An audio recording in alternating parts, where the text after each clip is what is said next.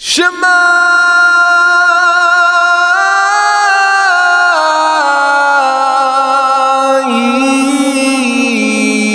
Israel Yahuwah Eloheinu. Yahuwah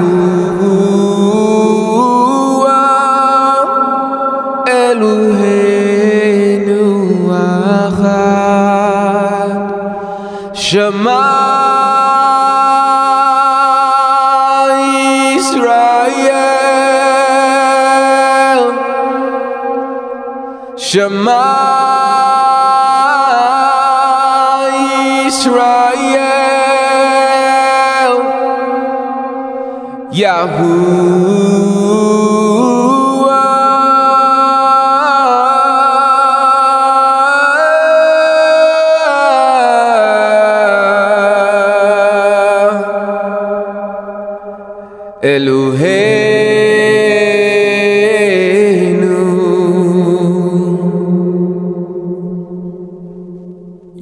Yahuwah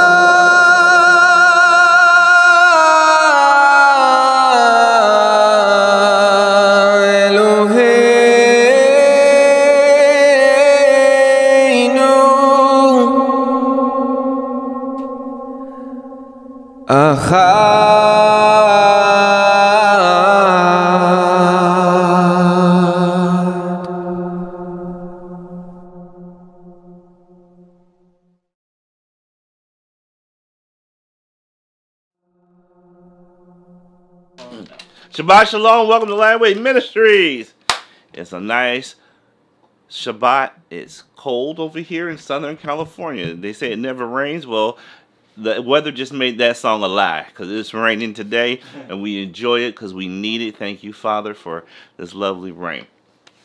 Well, we got some good stuff in store. I So get ready to get your thinking caps on. We're going to go a little deeper. Last week was a little uh, uh, gentle. The week before was a little harsher. Because Kyle said that that was foundation.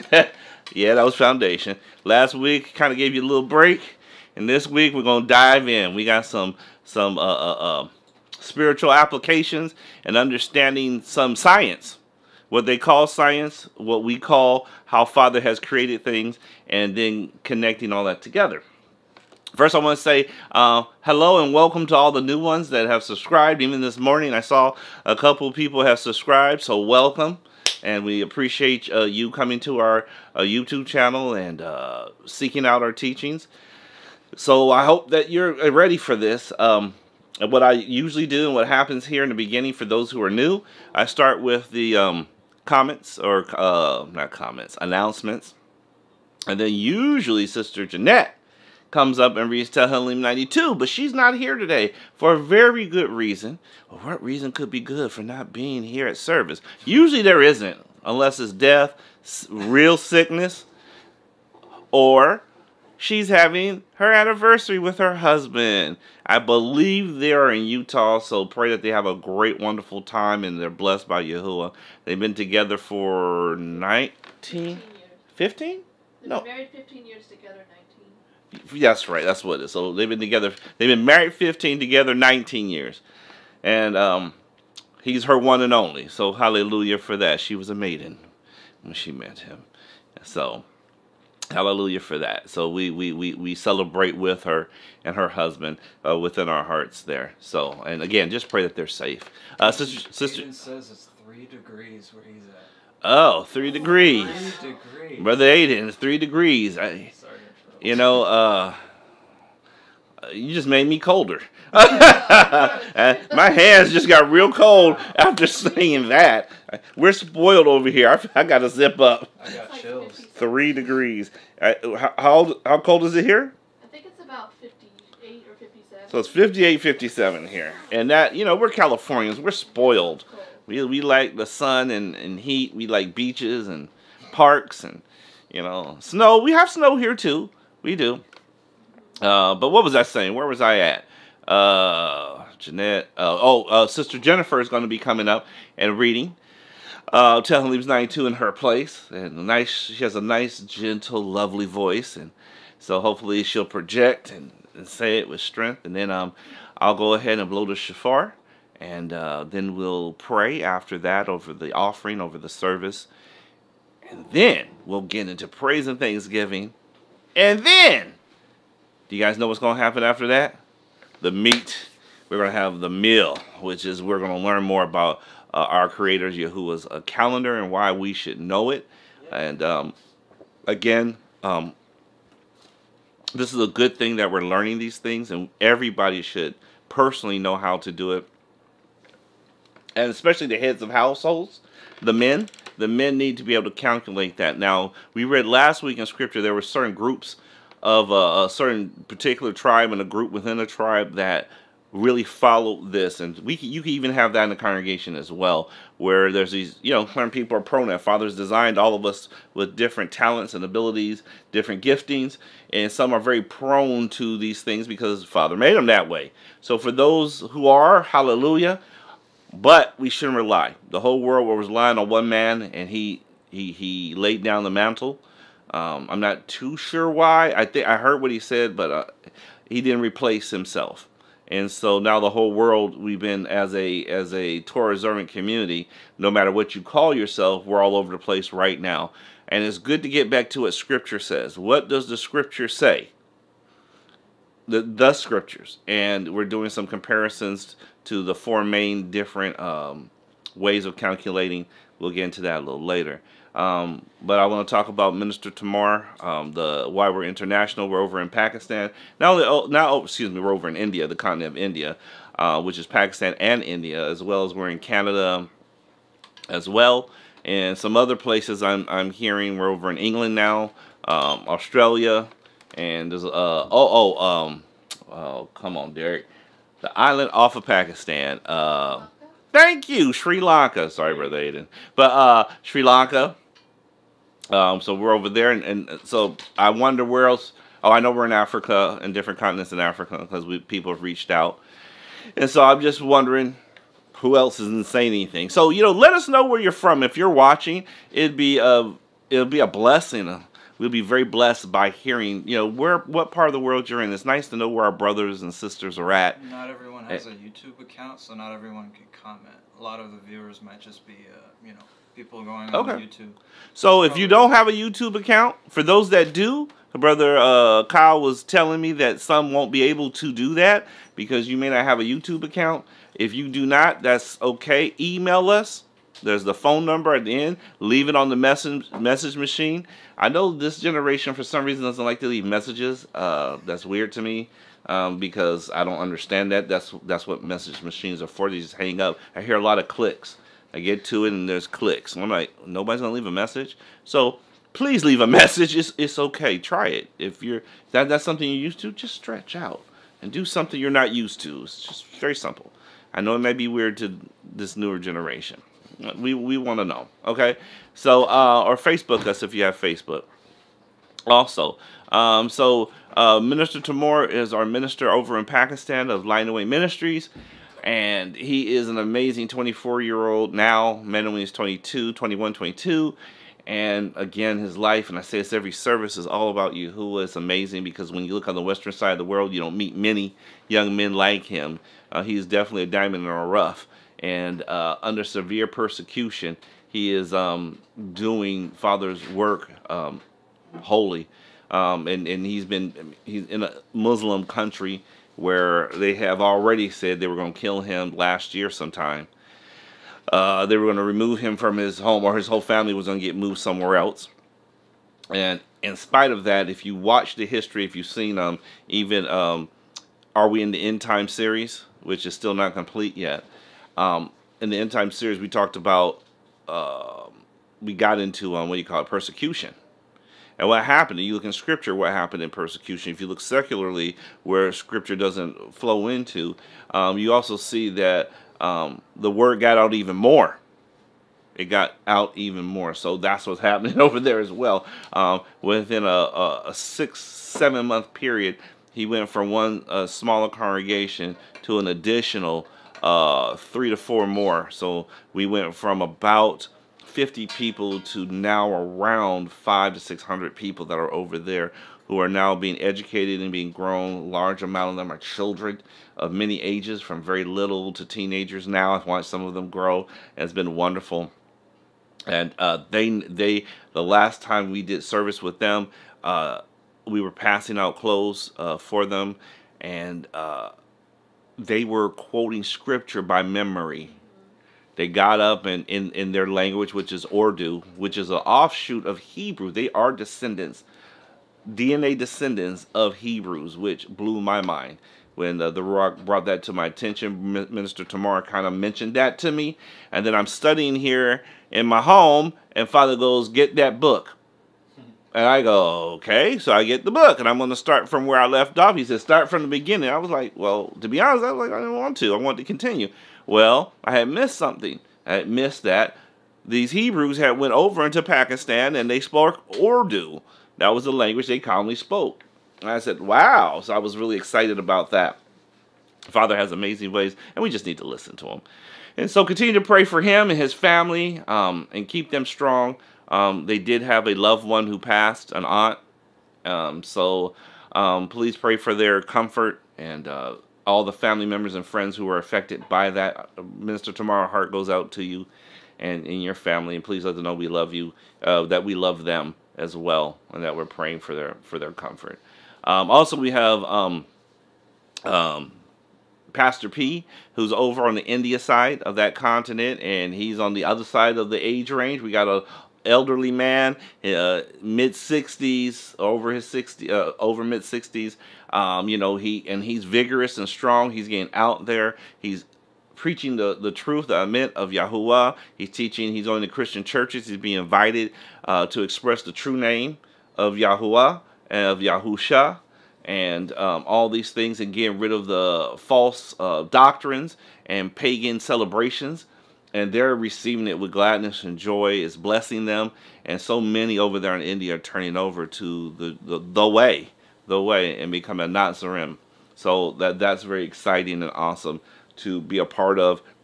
And we help them by your donations as well.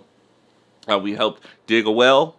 We helped uh, uh, uh repair a motor to the uh, one that was already there. And not only were our people blessed by it, our mishpachah, but also the community was because we are the seed of Abraham through Yahusha, and we're blessed to be a blessing to all the nations. That's what we should be. So wherever you go, wherever you're at, whatever family you're in, wherever job you're at, whatever neighborhood you're in, whatever ethnic group you belong to, you have been planted there to be a blessing to them. Remember that. Remember the fruit that you're bearing. Remember your behavior. We're to have our behavior to be a certain way amongst the Gentiles. And we are definitely amongst the Gentiles. Uh, we also do ear, nose, and eye clinic. We uh, over there in dentistry as well. Um, we also, uh, what is it? Um, help the um, the leopards by providing the things that they need and caring for them, showing them love. You know, really importantly, the fact that Pastor P even goes out there to them. You know, in their country, there's classes and, and levels, and you're locked in. Once you're poor, you're always poor. You know, and they are at a certain class, the untouchables, and um, they they're stuck uh, which is kind of they're in quarantine. we think we're we're just getting used to this quarantine. Well, they've been in quarantine, you know, for a long time, and it's a way of life. And uh, the fact that anybody goes out there to care for them who isn't a leopard is absolutely astonishing to them.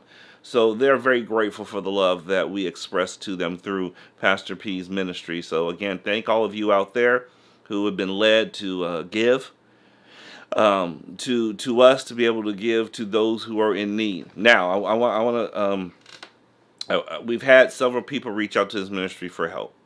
Um, you know, we, we do have some obligations that we have right now that we have uh, said that we were going to do. I talked about two of them already.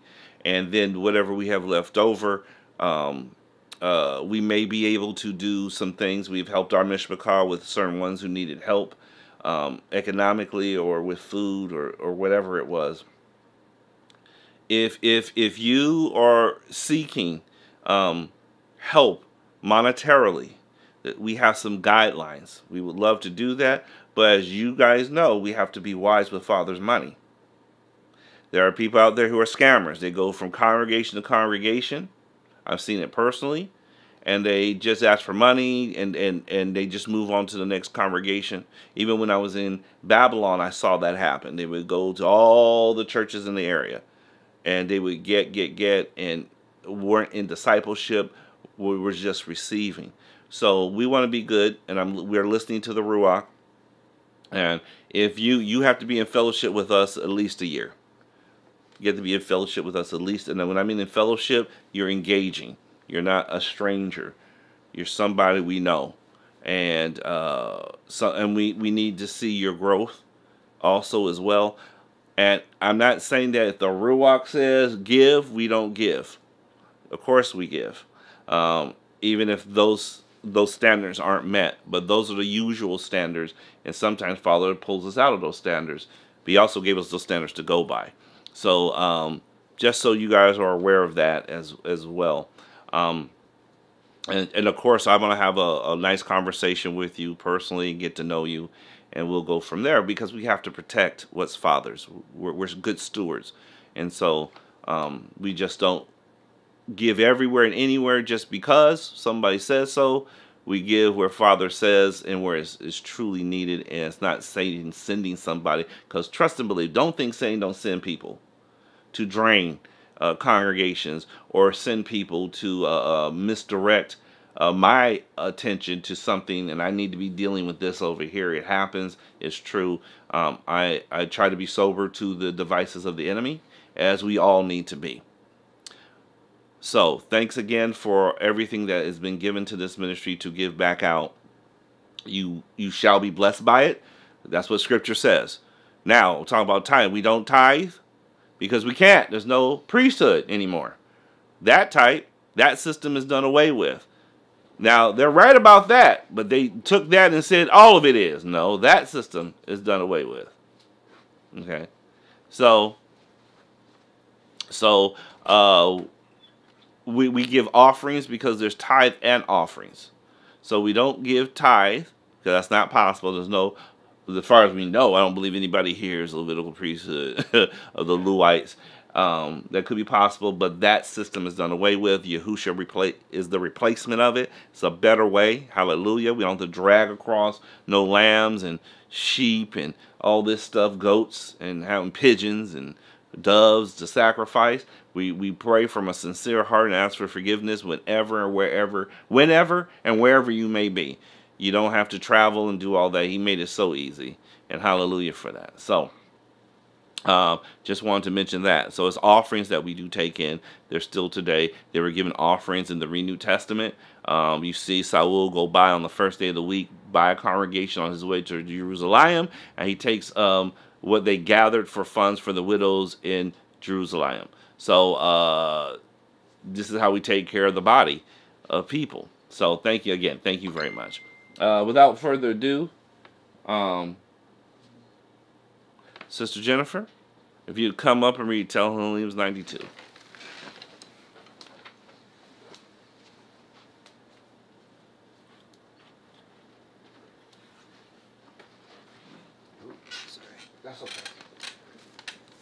Tehillim Psalms 92. It is good to give thanks to Yahuwah and to sing praises to your name, O Most High, to declare your loving commitment in the morning and your trustworthiness each night, on ten strings and on the harp, to the sounding chords of the lyre, for you have made me rejoice with your work, O Yahuwah. I shout for joy at the works of your hands. O Yahuwah, how great are your works! Your thoughts are very deep. A senseless man does not know, and a fool does not understand this. When the wrongs spring up like grass, and all the workers of wickedness blossom, it is for them to be destroyed forever. But you, Yahuwah, are on high forever. For look your enemies, O Yahuwah, for look your enemies do perish. All the workers of wickedness are scattered, but you lift up my horn like a wild ox. I have been anointed with fresh oil, and my eye looks upon my enemies. My ears hear the evil doers who rise up against me. The righteous one flourishes like a palm tree.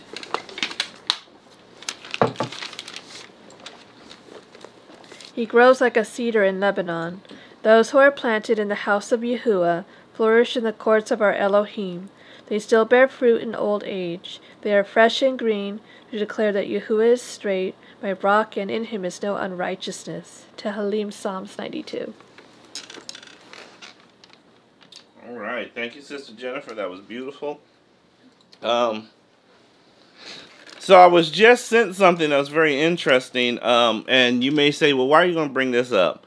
Well, you know, we can't be cold because people aren't Nazarene or they're whatever they are if they're following whatever they may follow. But Larry King apparently has passed away. So we want to send our prayers out and our compassion and love um, to everybody that that affects, his family and friends, co co-workers and the like. And I know many people for years have watched him. I know I did as a kid myself and then into adulthood. And uh, it's not about if he's, you know, um, Torah observant or not. He's he's a fellow human that has passed, mm-hmm. and so we we want to grieve with those who grieve. And um, so, just to let you know, we're praying for those out there who it has affected, because you know, death is a very difficult thing, is it not?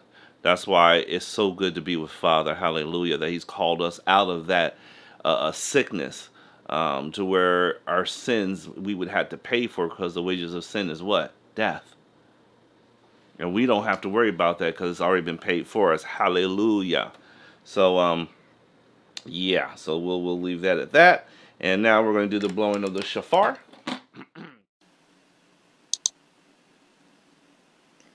Shabbat Shalom, Mishpachah.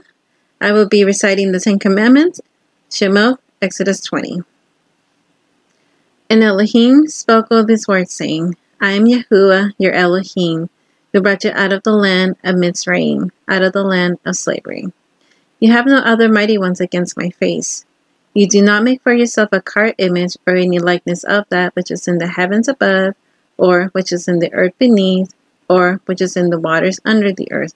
You do not bow down to them nor serve them, for I, Yahuah, am a jealous El, visited the crookedness of the fathers on the children, to the third and fourth generations of those who hate me, but showing loving commitment to thousands, to those who love me and guard my commands. You do not bring the name of Yahuah your Elohim to naught, for Yahuah doesn't leave the one unpunished who brings his name to naught. Remember the Sabbath day to set it apart. Six days you labor and shall do all your work. But the seventh day is the Sabbath of Yahuah your Elohim. You do no work, you, nor your son, nor your daughter, nor your male servant, nor your female servant, nor your cattle, nor your stranger who is within your gates. For in six days Yahuah created the heavens and the earth, the sea, and all that is in them. Therefore Yahuwah blessed the Sabbath day and set it apart. Respect your father and your mother, so that your days are prolonged upon the soil which Yahuah your Elohim has given you. You do not murder, you do not break wedlock, you do not steal, you do not bear false witness, you do not covet your neighbor's house, you do not covet your neighbor's wife, nor his male servant, nor his female servant, nor his ox, nor his donkey, nor whatever belongs to your neighbor. Good. Mm. You got this. One more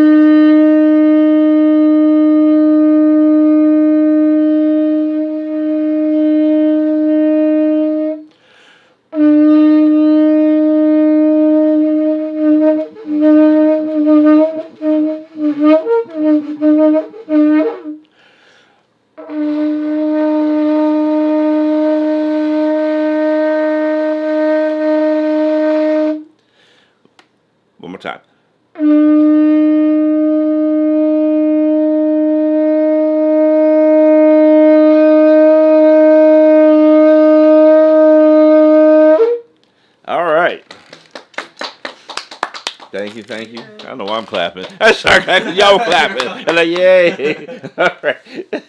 All right, let's pray. Dear gracious Heavenly Father, Yahuah, um, thank you for Shabbat. Thank you for teaching us all these things that we've had to grow and learn is special, is set apart, and it proves and shows in part that we're with you, Father, as we do the things that you've called us to do. Ah, thank you for all the teachings that you give us, and every day is a is a class. Every day is a learning, uh, and your mercies are new every day for us to start as you grant us life, Father.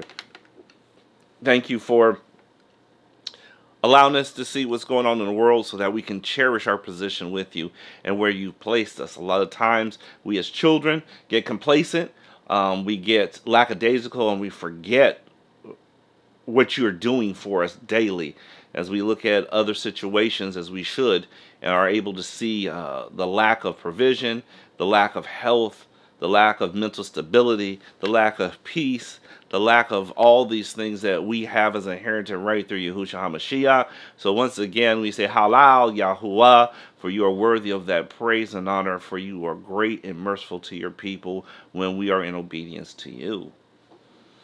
Father, we, we give this service over to you. We want you to speak your word, not man's word. We want to be corrected.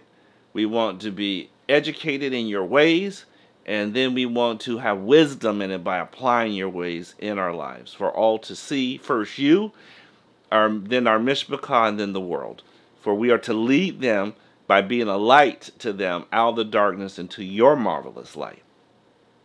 Father, we want to bless all those who are able to give.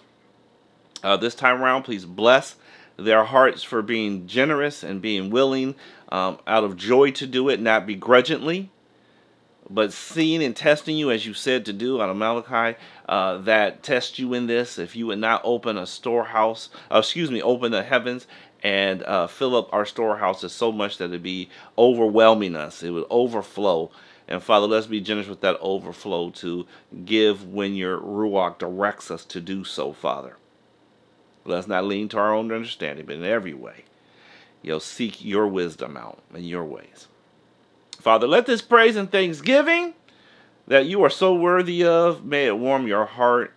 May we diligently, may we not just do it because it's traditional, but really because we're in relationship with you and, and, that's what we love to do. You know it's wonderful to see children. We were talking earlier about how uh, uh, children dance. We want to see them dance uh, because it warms our hearts. They don't have to be good dancers. They just got to dance. And we love it. We love it. And so father we know that you love it as well. So father uh, uh, let us have that understanding and let us dance freely before you inside and out for we know there's many different ways of expressing it, and we know it's in your scriptures. We praise and honor you in this moment of time. We turn ourselves in this ministry and this uh, service over to you. And Yahushua's my name, we declare and decree all these things. Hallelujah. So let it be, so it shall be. All right, let's get to praising.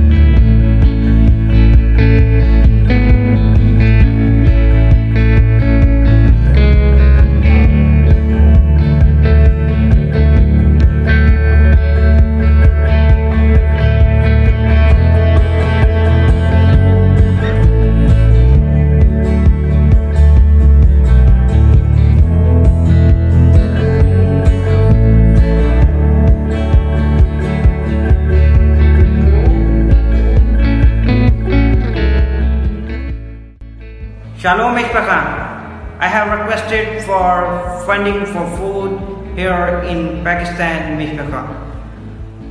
Here, Pakistan inflation rate too much increase. Every food items are 50% prices increase.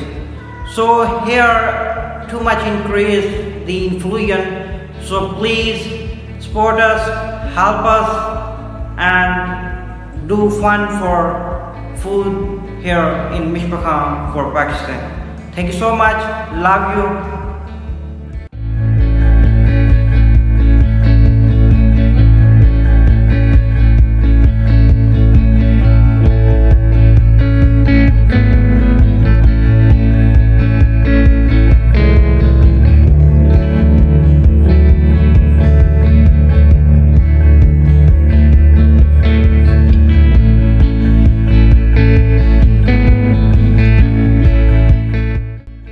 Shalom Mishpacha. People are sheltering on the roadside by issue of flood water. So please do support for food and help for other needs. Hello everybody. Uh, I'm on the area of a flood. Here the houses are in the flood are damaged and uh, people are going to in other area uh, living in the shelters so pray for them and uh, uh, keep uh, pray for little children and uh, pray for all of them uh, who's living in Pakistan in flood area and all others uh, who's living in Pakistan because we need your support we need your uh, help we need your fund for food and any others uh, little uh, um, uh, living atoms. so uh, pray for houses um, because they are living in the shelters. So pray and uh, do help in me. Thank you so much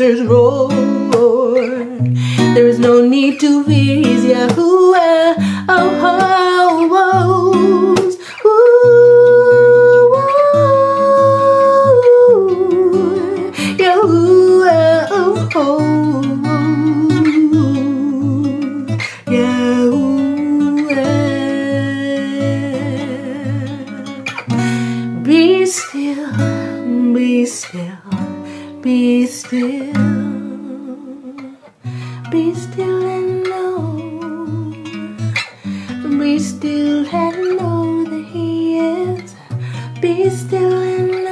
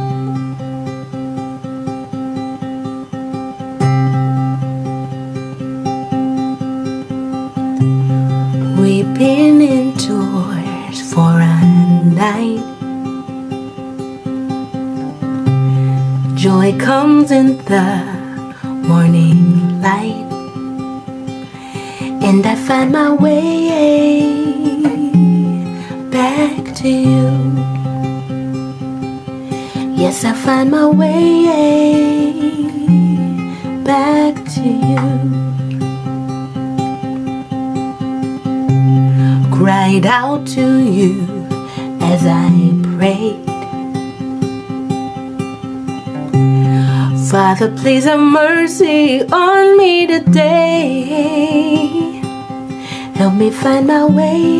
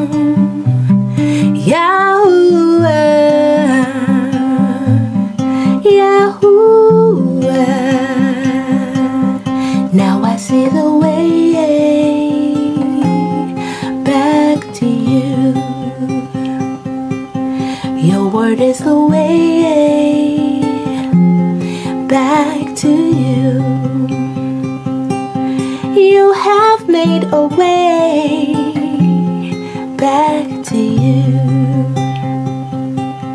Thank you for this day.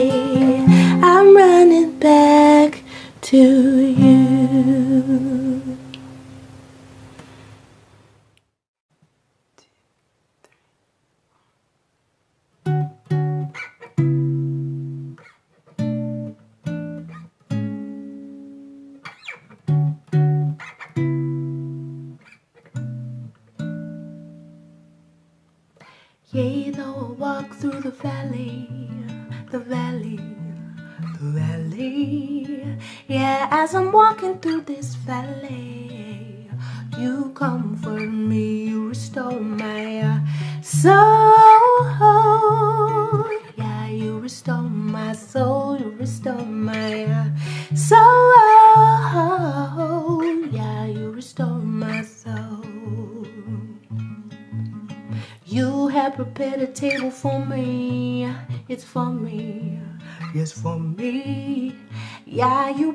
this table for me. My cup it overflows, you restore my soul. Yeah, you restore my soul, you restore my soul. Yeah, you restore my soul. Your goodness and mercy shall follow me. It shall follow me. Whoa, whoa, whoa. Your goodness and mercy shall follow me. It shall follow me. Whoa, whoa, whoa. Your goodness and mercy shall follow me. It shall follow me. Ho, ho, ho. Your goodness and mercy shall follow me. It shall follow me.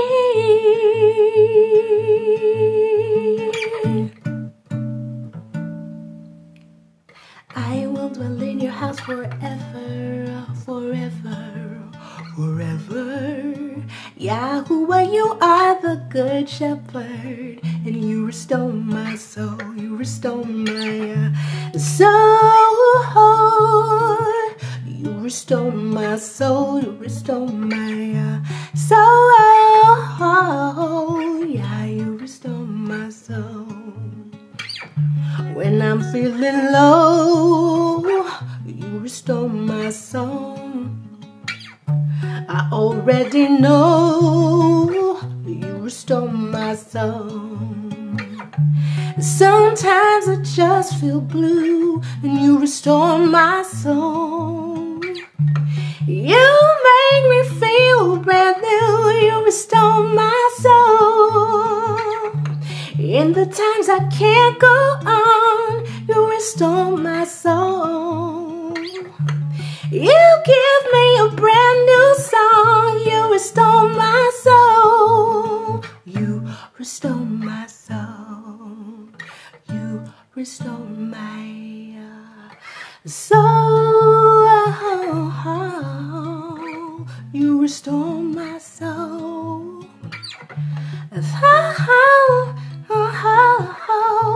You restore my soul.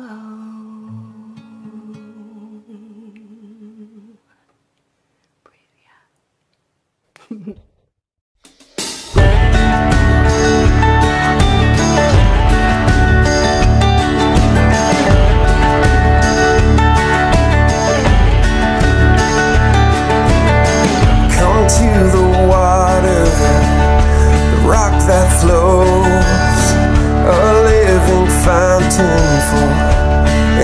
soul.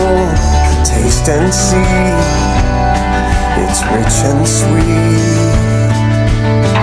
Come to the water and be made clean. Leave all your burdens there beside the stream.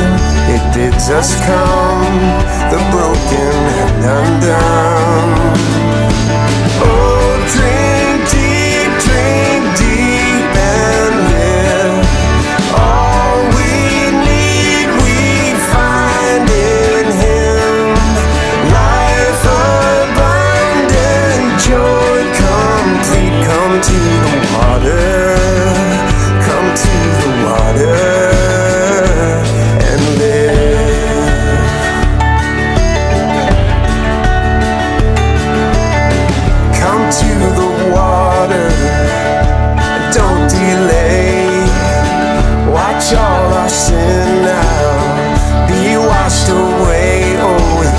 Us new. Oh, how it makes us new. Oh,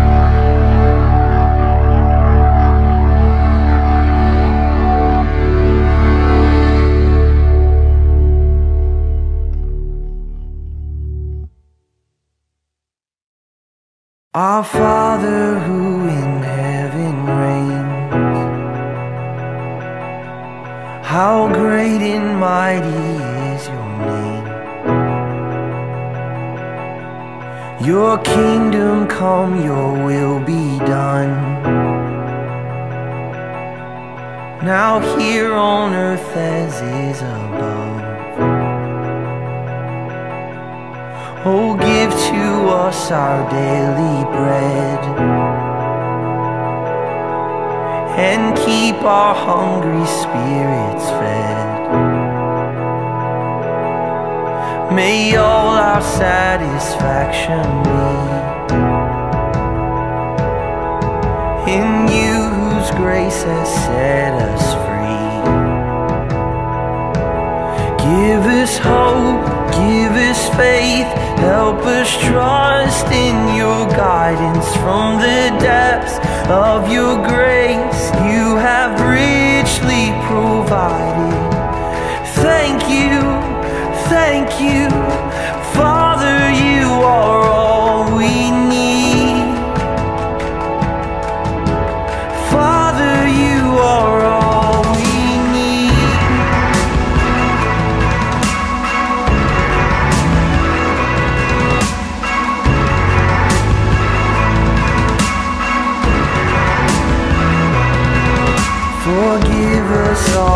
trespasses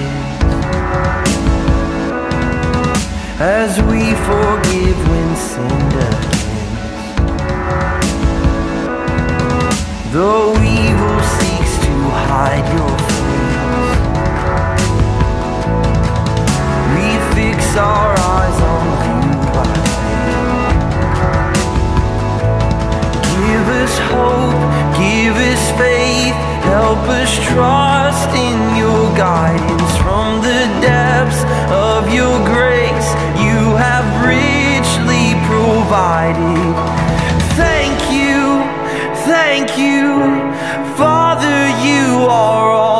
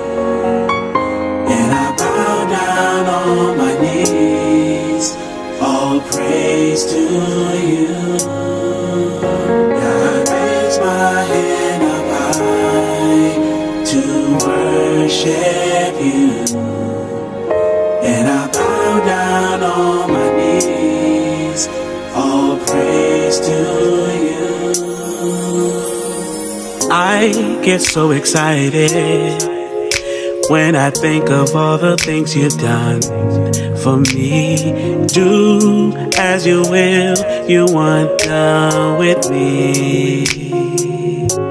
Oh yeah, cause I'm tired of fighting. Sometimes it gets hard, I cannot do it alone. Cause I need you, yeah, on my side. You are the light up high to worship you. To worship you. I bow down on my knees, all praise to you. All praise. Up high to worship, you to worship you. My knees, all praise to you.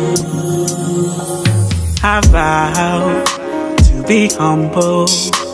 Yeah, hearken to my sincere supplication. When I'm weak and when I stumble, you are always there to catch me when I fall. You are my rock and salvation. Only one that I can trust, you're my best friend. Whenever I'm in doubt, to you I'll give a shout. With hands held high, I'll be calling on your name. Yeah, I reign, I reign to worship you. Bow down, all praise to you, all praise Up high, to worship you. Yeah.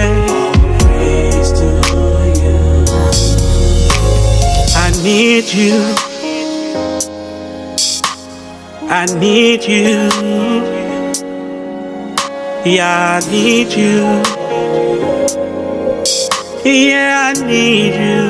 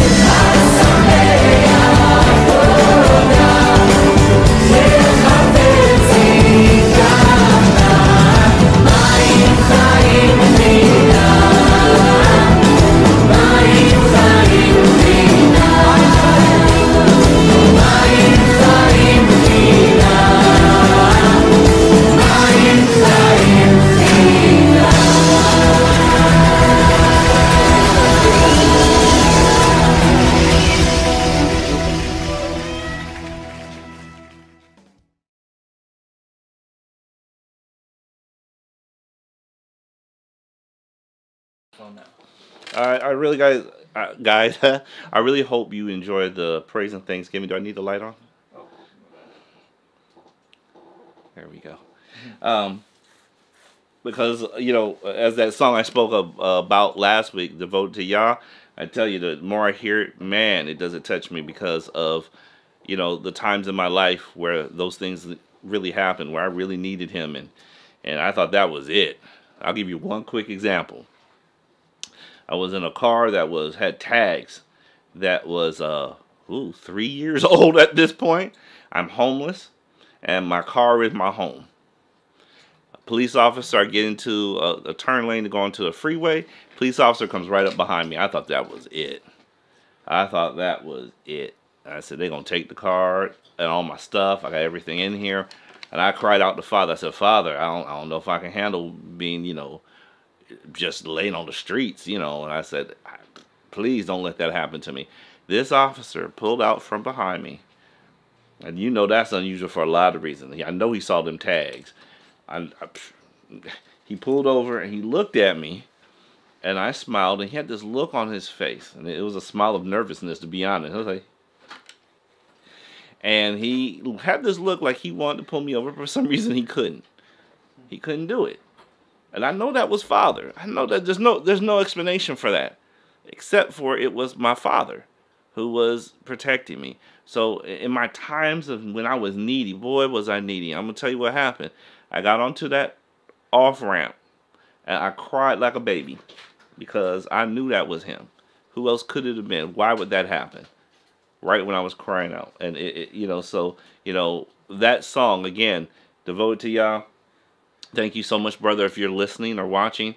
Uh, can't wait to speak to you tomorrow. I get, I get, I'm gonna get to speak with him tomorrow. Hopefully that'll work out. And uh, I, I just feel like he pulled that out my own heart, you know, and, and read my heart and made that song. So, uh, and then we have this other song, Freedom to, to, to, Worship, man, by, oh, beautiful song. I'm free to worship him freely. There's nothing in me that's holding me back. It's not embarrassment of what other people think. It's not, it, there's nothing. There's no, I, I can freely worship him. He's giving me that freedom. There's people who can't. They, they can't do it. Turn on their favorite secular artist and they're dancing and jumping around. To praise Yahuah, all of a sudden they climb up. It's weird. I don't know. I'm uncomfortable. It's amazing. So, you know, we may not think about it, but that's freedom to be able to worship and honor Him. To be able to do that, those who can't are bound up. They're in chains. So, anyway, we're Light Way Ministries. And sometimes people ask, who are we? What are we about? We are first century disciples in the 21st century. What does that even mean? What are you talking about? We don't do any add-ons. We don't do any Constantine Christianity.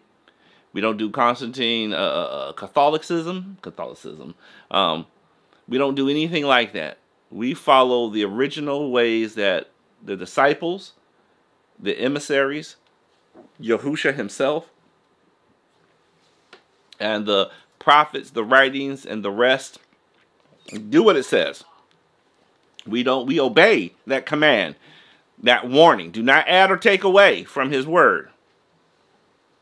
There's a Psalms that says that as well. As I've said many times before, there have been Christians who have said, well, you're taking that out of context because he said that in Devarim. He was talking about the, the, the commandments, the Torah. And then in Revelation, he says, don't do that. He was talking about that book only. Well, they forgot Psalms. See, they don't, they don't really know all of Scripture. They know a very small amount because they're shepherds. May I say wicked shepherds? May, may I dare say that? Are misleading them and won't guide them into those places of refreshment. And so their souls are not refreshed, they are confused. And we are coming out of that confusion as uh, the song says, we're awake now and we walk with Him. We understand why things are happening uh, in the world and to us. And, and, and we're not we're not asleep, or as they say, we're woke.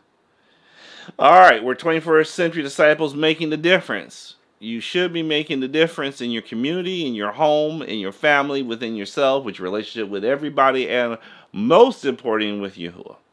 And that's where you should be making the difference. Stop looking out at your brothers and sisters. Stop looking at a, a political party. Stop looking at anything that's of this world to make those changes you started. Even the world kind of knows that the change starts with you. Well, yes, the change starts with you, but in Father's way. We are also um, part of a team. We are a team. We're a Nazarene search team, and we're looking for our family members who don't know or who are waking up or who need to be woke up. Either way, we're out there, we're, we're ministering, we are living our lives according to the word so that uh, people will recognize and see something different and they will go, What is that? Wait, why are you like this? You're not normal. You're weird. Yes, yes, and yes. But one thing they will also say, but you guys are good people. Because Father's ways are above any ways on this planet. They're going to say we're excellent people. He said so, and I can tell you, they may not say it at first, but you let you stay consistent in walking this walk and growing and maturing, they will come around and go, don't like what you're doing, but you are a better person than what you were. I can't deny that. So don't worry about right now. Sometimes we're a little too fast food believers. We want it right now because everything is fast in this world. you know, you get your food fast and, and you, know, you microwave this and microwave that. And we, we don't wait patiently the way Father has ordered it in his creation. And so now we want we we've come into the light and we want to drag everybody else into it. And I literally do mean drag because they don't want to come yet. They want to watch. They want to make sure. Remember, you just got into this. What kind of person were you before? What did they know of you before? They got to watch and see if this is real. They got to see if this really works. You correct yourself. You push forward.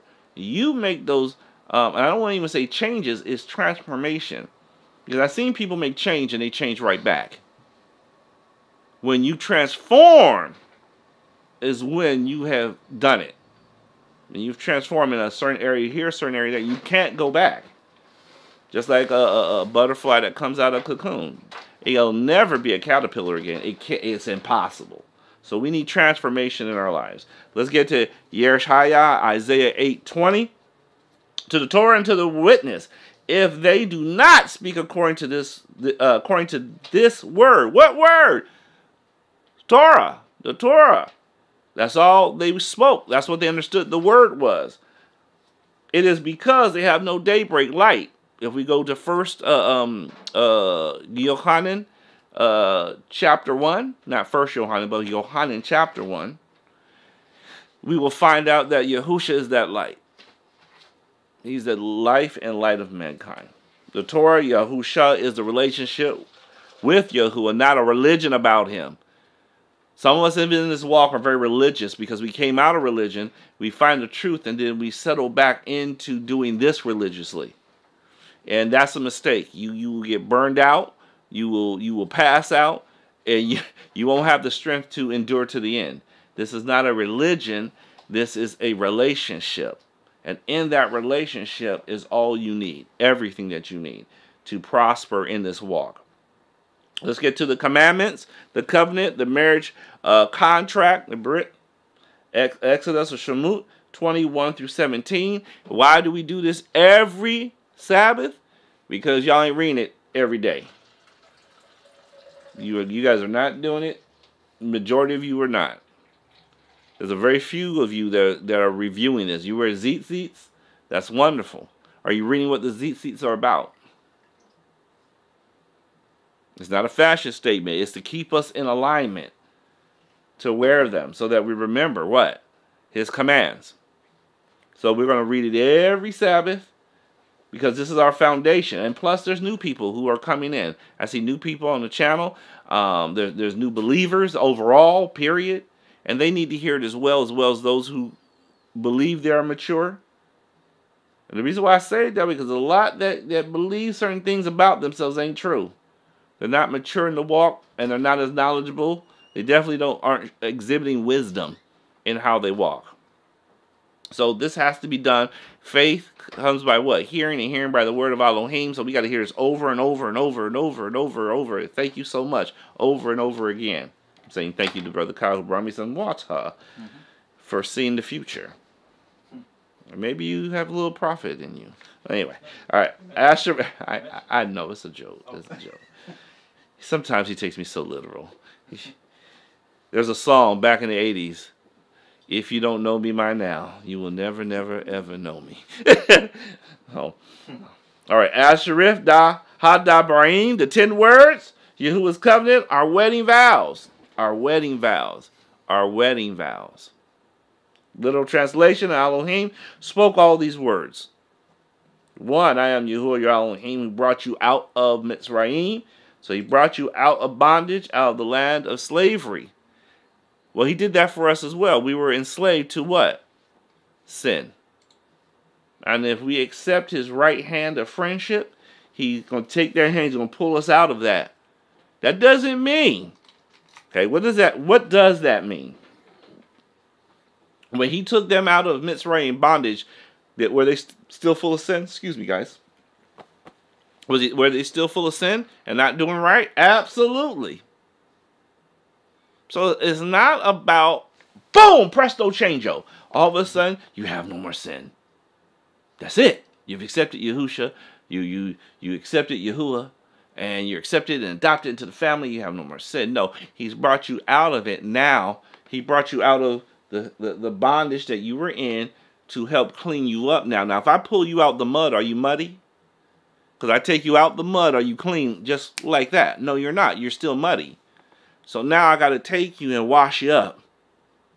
And I got to scrub, and you got to allow me to do that to you. See, this is where we're at. First, you got to take us out the mud. That's what he did. He took us out of the mud. Then, now the sanctification process takes place where the cleanup comes by the washing of his word. Hallelujah. You shall have no other Elohim before my face. Well, I don't worship any other Elohims, right? I don't do that. It might be you. You might be the Elohim. You may have raised yourself up into a position of, I know what's best for me. I know what I'm going to do. And it doesn't correlate with what Father is saying. It doesn't match up. You may be that Elohim. Anything can be an Elohim. Football, soccer. I did, you know, we're multinational here, so I had to say soccer as well. Well, that's football. That makes more sense to me why that's football. that that sounds really because they use their feet. But anyway, yes, I did say they. Um, so, you know, whatever it is that is your idol, don't have it before his face. This is a married contract. This is your husband. He don't want no other man, no other husband before his face. Those who want to be married, those who are married, do you want another person before your face that your mate is looking at, enjoying, laughing with? No, you don't. So this just makes common sense, honestly. Two, you shall not make for yourself an idol in the form of anything in the heavens above or the earth uh, beneath or the or in the waters below. You shall not bow down to them or worship them. For I, Yahuah your Elohim, I'm a jealous Elohim, pushing the pushing, punishing the children uh, for the sins of the father to the third and fourth generations of those who hate me. This, this is serious business. This is real serious business. If you if you just see you just can't have offspring. Father goes, but if you don't behave, your offspring will be will suffer for it as well. So do it for them. You're not gonna do it for me. Do it for them. Have you ever tried to get somebody to do what was right for them and they won't do it for themselves, they won't do it for you, and you find some do for the cat. They love the cat. So do it for the cat then. Oh, okay, I'll do it for the cat. See, father, father is saying whatever it takes, because most people love their children. Most people don't want their children hurt, especially from something they did. Mm-hmm. They don't want that to fall on their children. They're responsible for it. So father will use whatever is necessary, and it's too bad he has to do that. That's how wicked we are. That's a reflection of what we are that he has to go that far. He's not bad, we're bad. But there's a contrast showing love to thousands of generations of those who love me and keep my commands. So it's really simple. We gotta make we got choices to make. Either we're gonna keep his commands and be Baruch, Rudaka, or we're gonna keep his commands and be Barudaka. Which in Hebrew, the word for curse is also blessing, because it's still gonna come. It's gonna be the opposite, but it's the same thing. Three, you shall not cast Nasa, send the name of Yahuah your Elohim to ruin. Shoah, destruction, for Yahuah will not hold anyone guiltless who casts his name to ruin. That also is wide open. Uh, unfortunately, uh, Babylon has projected this thing. Don't cuss with his name in it. They don't even know his name. So they ain't been doing that anyway. That's not in full what it means. Yes, do not use his name as a cuss word. Yes, I agree with that. But that's not the fullness. Y'all ready to go deep? Let's go deep into this well. And you guys, some of you have heard me say this before. For those new ones, this will be new to you. It's about our the name that we were taking on our father's name. Just like children and a wife takes on the husband's name, the father's name. And if the wife or children go out into society and act a fool, in ways that would not bring honor and glory to that name, then you're bringing the name to ruin in the Hebrew way of thinking. You're destroying the family name.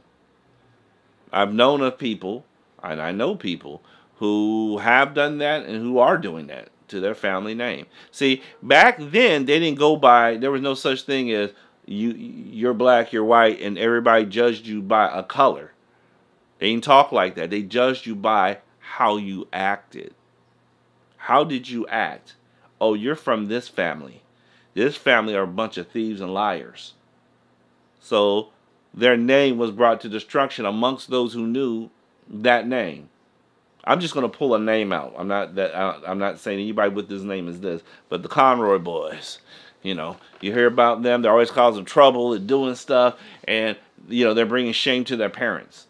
And this is what we do when we say that we are called by His name. We're children of Elohim. We go around ministering, wearing tzitzits, and uh, uh, not doing Christmas and all this stuff. That's just part of it.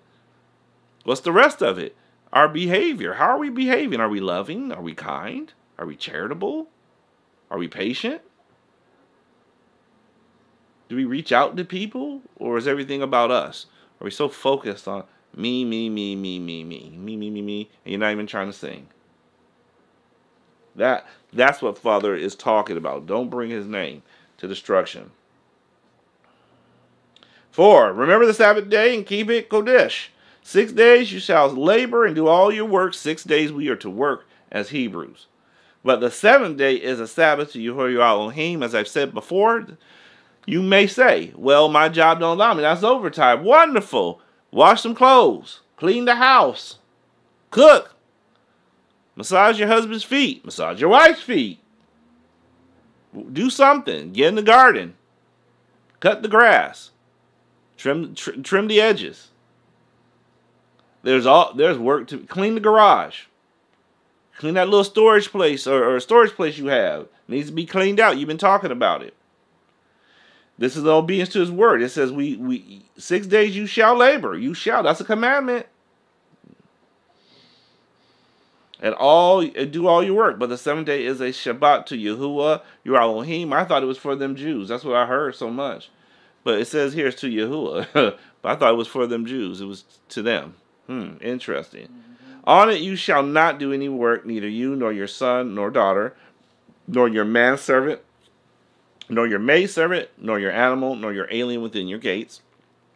If you have guests over, friends, family, whoever, somebody said, hey, somebody needs a couch to sleep on, and you open your doors up to do that because you're loving your neighbor as yourself, you don't want them out in the cold like that, they have to do. There's some you better speak to them. We don't do X, Y, and Z. There's no pork in the house if they're not a believer. You can't bring no pork in here. You can't bring alcohol, cigarettes, not even leftover cigarettes. You can't bring nothing like that. Uh, that's an inside joke. Um, and uh, uh, and they have to honor Sabbath. Now, my sister, when I would go see my sister in San Diego, I would let her know if it fell on the Shabbat, I can't do anything. I can't do this, that, and the other. You know, and she would prepare. So she had been practicing the Shabbat for 15 years. Well, now she's in the faith. Hallelujah. Hallelujah.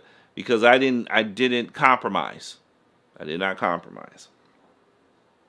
For six days Yahuah made the heavens and the earth, the sea and all that's in them, and he rested on the seventh day. Therefore, because of that, Yahuah blessed the seventh Sabbath day and made it set apart Kodesh. He set it apart. See, when we don't practice the seventh day Sabbath, we're not reestablishing what happened in Bereshit, that there that Yahuah created the world through his word. As we know now, the living embodiment of Yahusha, Yahuah's deliverance. When we do the first day, we're doing something that he has not instructed us to do, nor is it anywhere in Scripture. The Catholic Church will tell you they created it. There's no scriptural uh, reason why, even though there are some denominations that have made up some interesting reasons to why, and it doesn't fit, it doesn't work, no work. We just need to obey what's here. We, we don't have to reinvent the will. We don't have to reinvent scripture. It is perfect just the way it is. Five, honor your father and mother so that you may live long in the land Yahuah, your Elohim, is giving you. Again, I talk about this. You, you, you ones who have been with us already know this. Those who are new, this is more for them, but it's reestablishing it in you so that you are able to speak on this to others. He knew we were going to be in the dispersion. He already knew this when he spoke these words. And he wrote them down and gave them to Moshe. He knew this. Yes, in context, at this particular time, he's speaking to Yisrael and Yasharal. And what's happening? They're, they're, they're making their way to the promised land. For us, what does it mean today? Did he, he knew I was going to be here in the United States, in California eventually, and, and what was going to take place. Am I to honor, am I not to honor my father and mother because I'm not in Israel? Does that even make sense? So that's done away with now. I don't have to do that. No, of course not. I'm still Yisrael. And so wherever I am, Yisrael is. Right? So wherever land that he's placed me, I will live long and prosper there. Let, let me not add, you will live long in the land. I'll just leave it at that. Let's not add or take away, right? So I will live long. Uh, and, and to me, prosper, to live long is prospering. So let's continue to do that. Let's not be fooled and, and, and believe the lie. Six, you shall not murder. Two words, lo rasak, no kill. There's a murderous spirit out in this world. Everybody wants to kill each other for whatever reasons. It's permeate down to the children.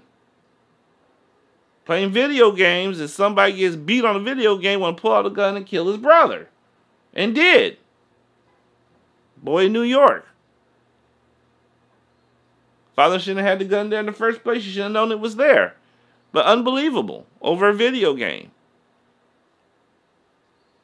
These things promote violence. They build up. It's demonic entities that are that are uh, on these things, that come through these things, and will sit on them. I know a Christian man who his son, and I know his son. This is years ago. That's still in Christianity. It just came to mind. He was playing some uh, um, superhero one um, that just come out, and his son literally started uh, speaking in a tongue that he did not know and he said sound demonic. And he said it was after hiding and playing this game. So he was in disobedience to his father. His father told him not to, and he had been playing it for a couple months, and he started to see the change in his son's attitude and the way he was responding. And he said, "My son was possessed." He, he that's what he said. So stay away from these things because these things will bring demons to you. They're designed to do so. It's not just for entertainment. Well, it is for entertainment, actually. Not the way you think. Because then you got to break down the word enter. What's entering you? To detain, entertain, meant. Something's entering you to hold on to you. What is it? See, these are questions we don't ask. Especially when something is, is, is seems to be good and fun and, and it feels right what is it really doing? See, Satan will do that. Satan will do that.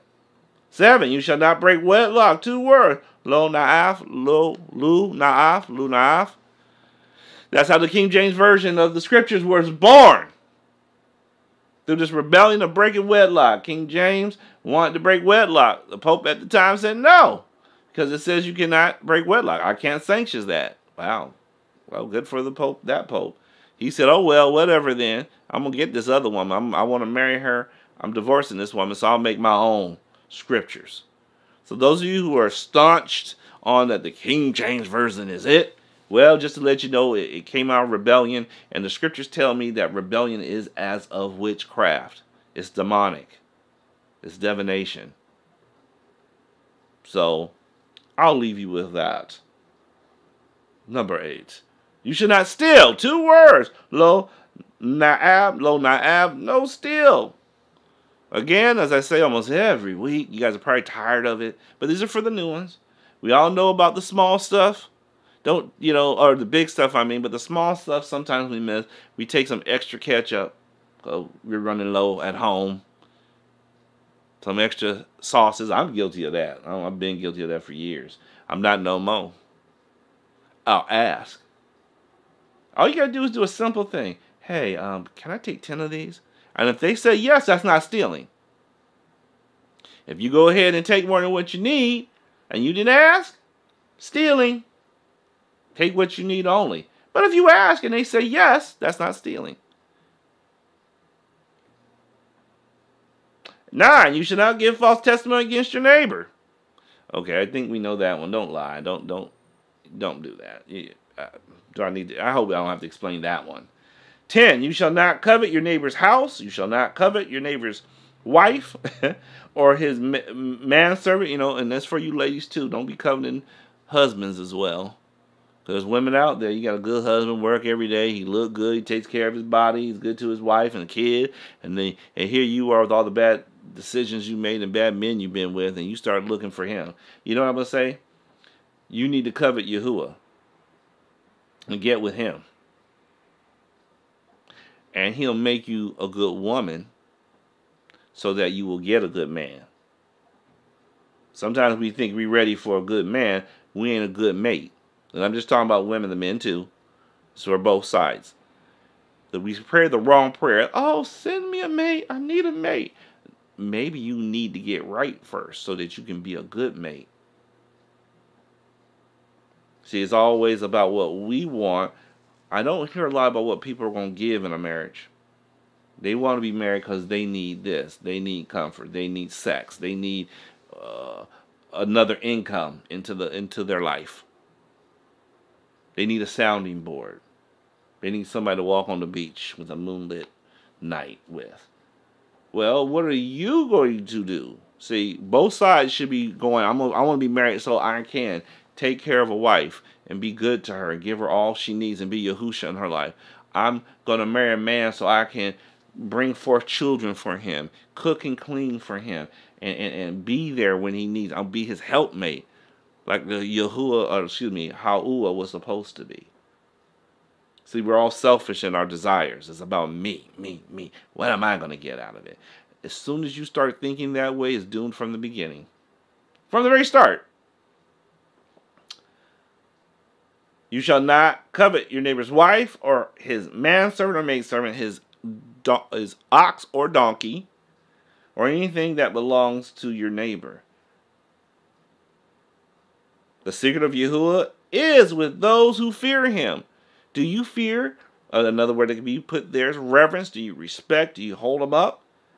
Well, if you do, this is for you. And he makes his covenant known to them. Tehillim 25 14.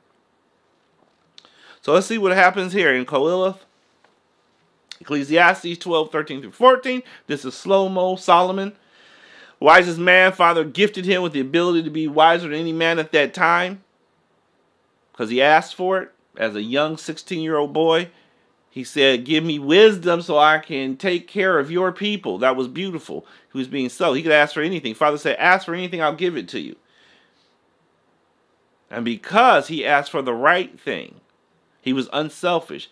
The first two commandments, he was loving Father with all his heart, mind, soul, and strength. The second is like this love your neighbor as yourself. He was loving others first. He put himself on a back burner. He wanted something, a tool, so that he could rule pr- properly. So he wanted to be the best servant he could be for Yahuah and for the people. Different mindset. Different mindset. Father said, Boy, I, I'm going to give you everything now that you said that. We pray wrong a lot. We, we can learn something from the beginning of Shlomo. And we can also learn it's not how you start, it's how you finish. You have to endure to the end. He, he kind of fell off. But this is while he was good. So let's read what he concluded as he searched out life at his time and looked at everything. Let's hear the conclusion of the entire matter. Fear Elohim and guard his commands, for it is for them Jews. Well, he couldn't even say Jew because the word wasn't even there.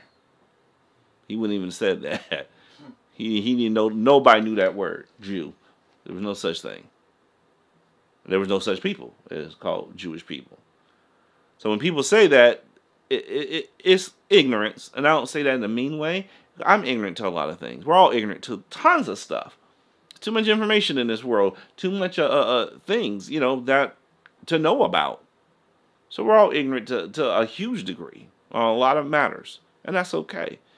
But these who do this, they're they're ignorant. They don't know the history. They don't know who's who, and they haven't been taught that, and they're trusting these um, well, parlor trick uh, uh, uh, um, pastors and bishops and stuff, and and they just do a puff of this puff. I was in a congregation one time, Christian Christianity. I never believed they were going. They couldn't. They ran out of. Excuse me for mumbling a little bit because my thoughts are going everywhere. They they they, they had benevolence had ran out.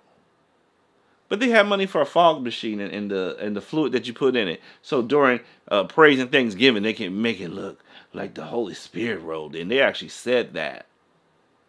Well, why are we trying to make it be something it's not? Either the Ruach is here or not. You're going to fabric, fabricate that? You're going to make it up? You're going to fake it? So people, without uh, what is that? That's lying. Is that not lying? I wouldn't listen to people who lying to me like that. That's why I'm not there anymore. That's why, and I wouldn't be a part of anything that they touch until they repented, and they have not. At least as far as I'm aware. For it applies to all mankind. What applies? Fear of Elohim and guarding his commandments. They apply to all mankind. For Elohim shall bring every work, not some, every, not half of yours, every, yeah, your neighbor too, every work into right rule, include all that is hidden. There's nothing hidden to him. He gonna judge it all, whether good, dysfunctional, or whether evil, dysfunctional. I think you said dysfunctional twice by accident. Whether good, functional, I think I did, thank you, or whether dysfunctional, evil. Thank you for that correction. So we're going to get into the meat of this service. Why is it important to know Yah's calendar? Part three. This is going to be a little deeper. Last week was a little lighter just to give you a little reprieve so that you could take in some more of the previous one because you need to to get it.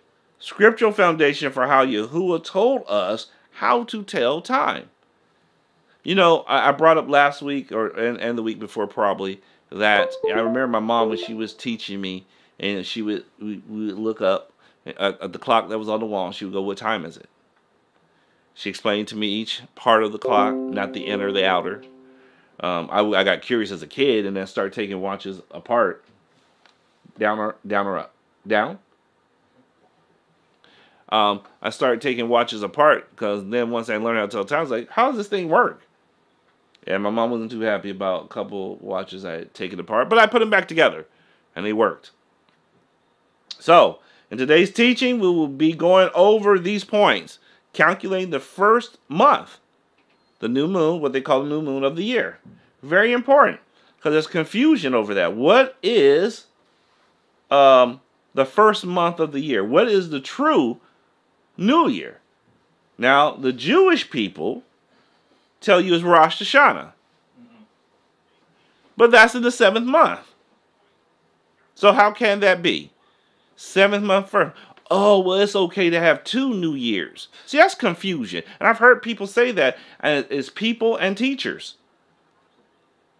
Why is that okay? How come there's two New Years? That doesn't make sense. That is a stubborn, rebellious spirit that's unwilling to follow the truth of the word, that's changing the word and being religious and man-made traditions, which Yahusha said that you make so many of these man-made traditions, or you make them. I added so many, but you make these man-made traditions that null and void what the commandments of Yahuah.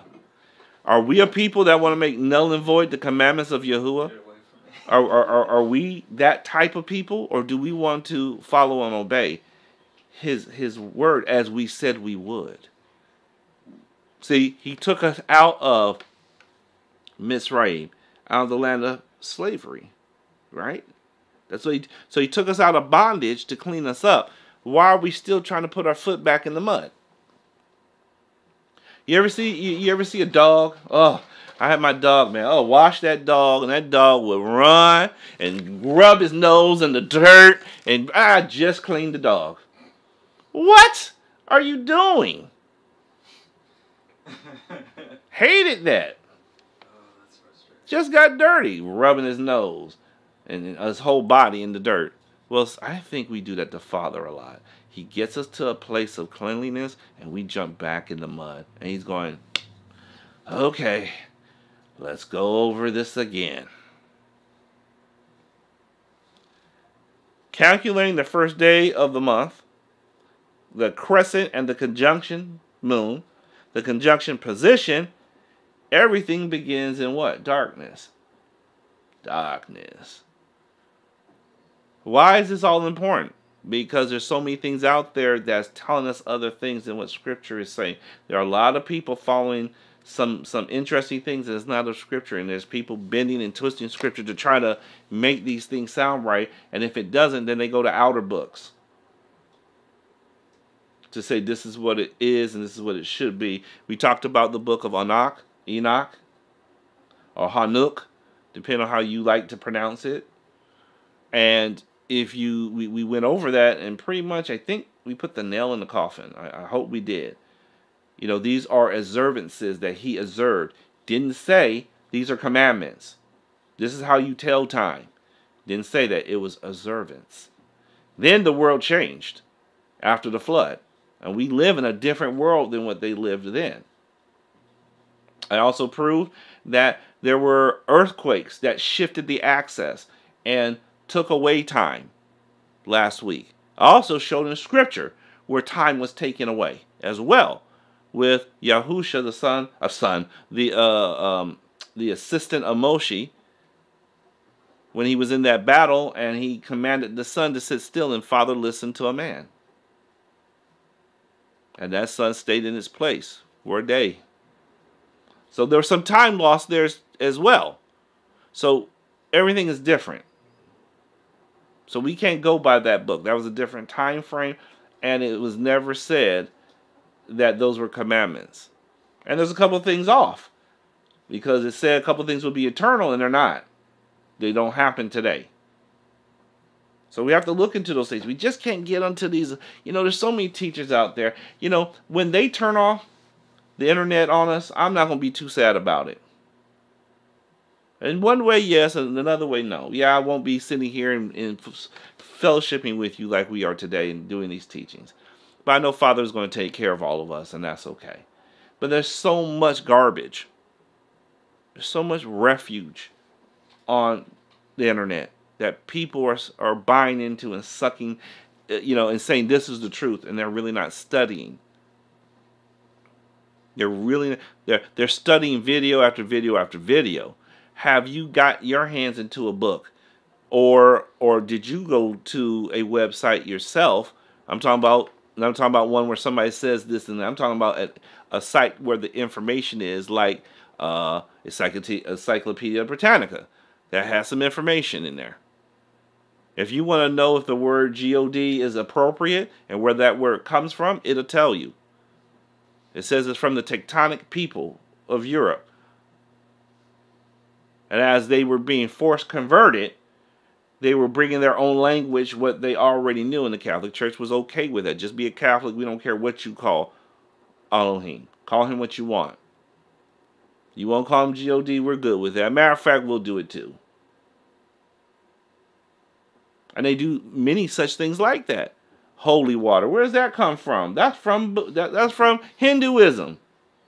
Out of the Ganges River. It had nothing to do with scripture. See, we got to be careful. We got to research and we got to go into history. Put down YouTube for a minute. Put down the shows that you're looking at just for a moment. So that you don't come to somebody who is knowledgeable and who desires to know full truth and then tell them they're wrong. And and if you don't mind me saying this, and you probably will, and being an idiot and being a foolish idiot at that point.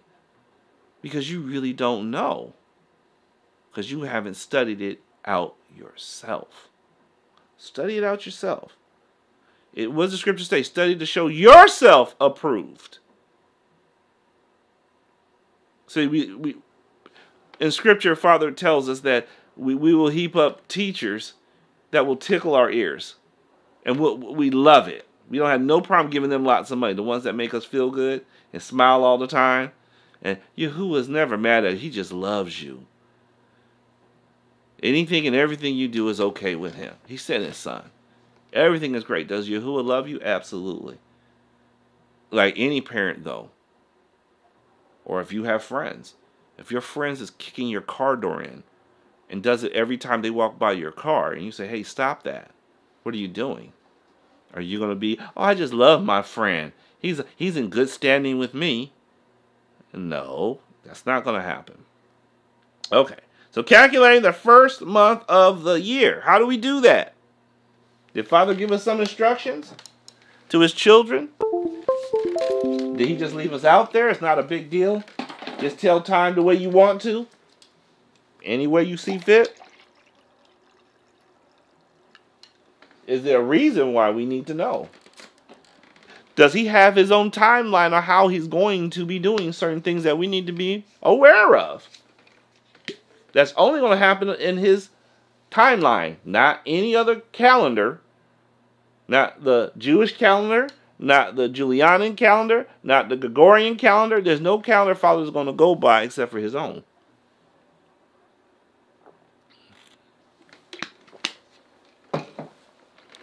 So is it important for his people to know his calendar and the prophetic timeline in which it, it uh, his prophecies that will follow that prophetic timeline? Absolutely. So it's important.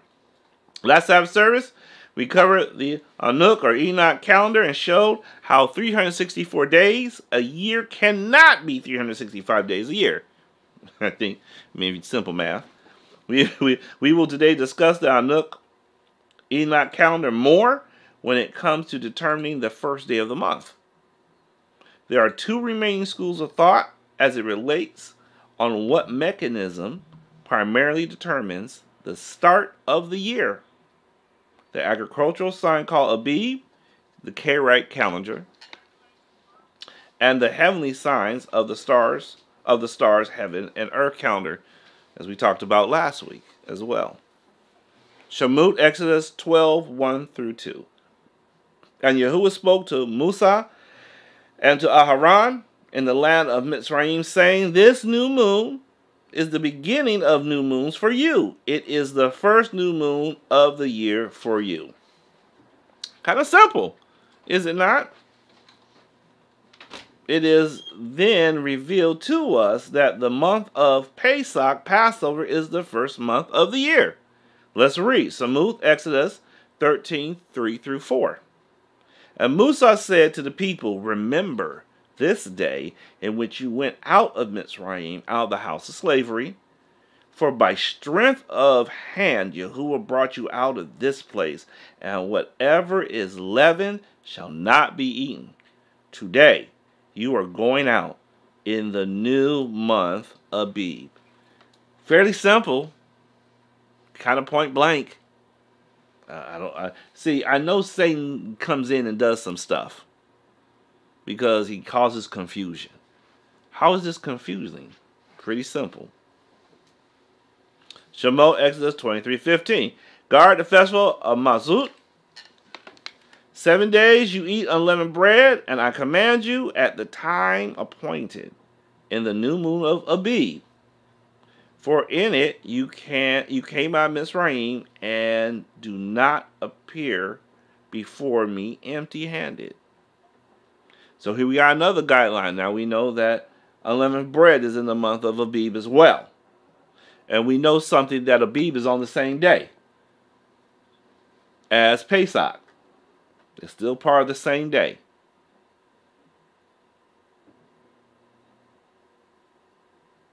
Mm, somebody's thinking hard right now. One's the 14th, one's the 15th. One starts at what? Sundown. Sundown, and one is before that sundown. They're on the same day, even though they're separate days. The way we look at things. The way we look at things. Shemot, Exodus 34 18. Guard the festival of Mazut. For seven days you you eat unleavened bread as I command you in the appointed time of the new moon of Abib. Well, giving you some pretty direct, you know, information here. Because in the new because in the new moon of Abib you came out from Mitzrayim. See, so Mitzrayim is, is, is crucial. Mitzrayim is crucial to this.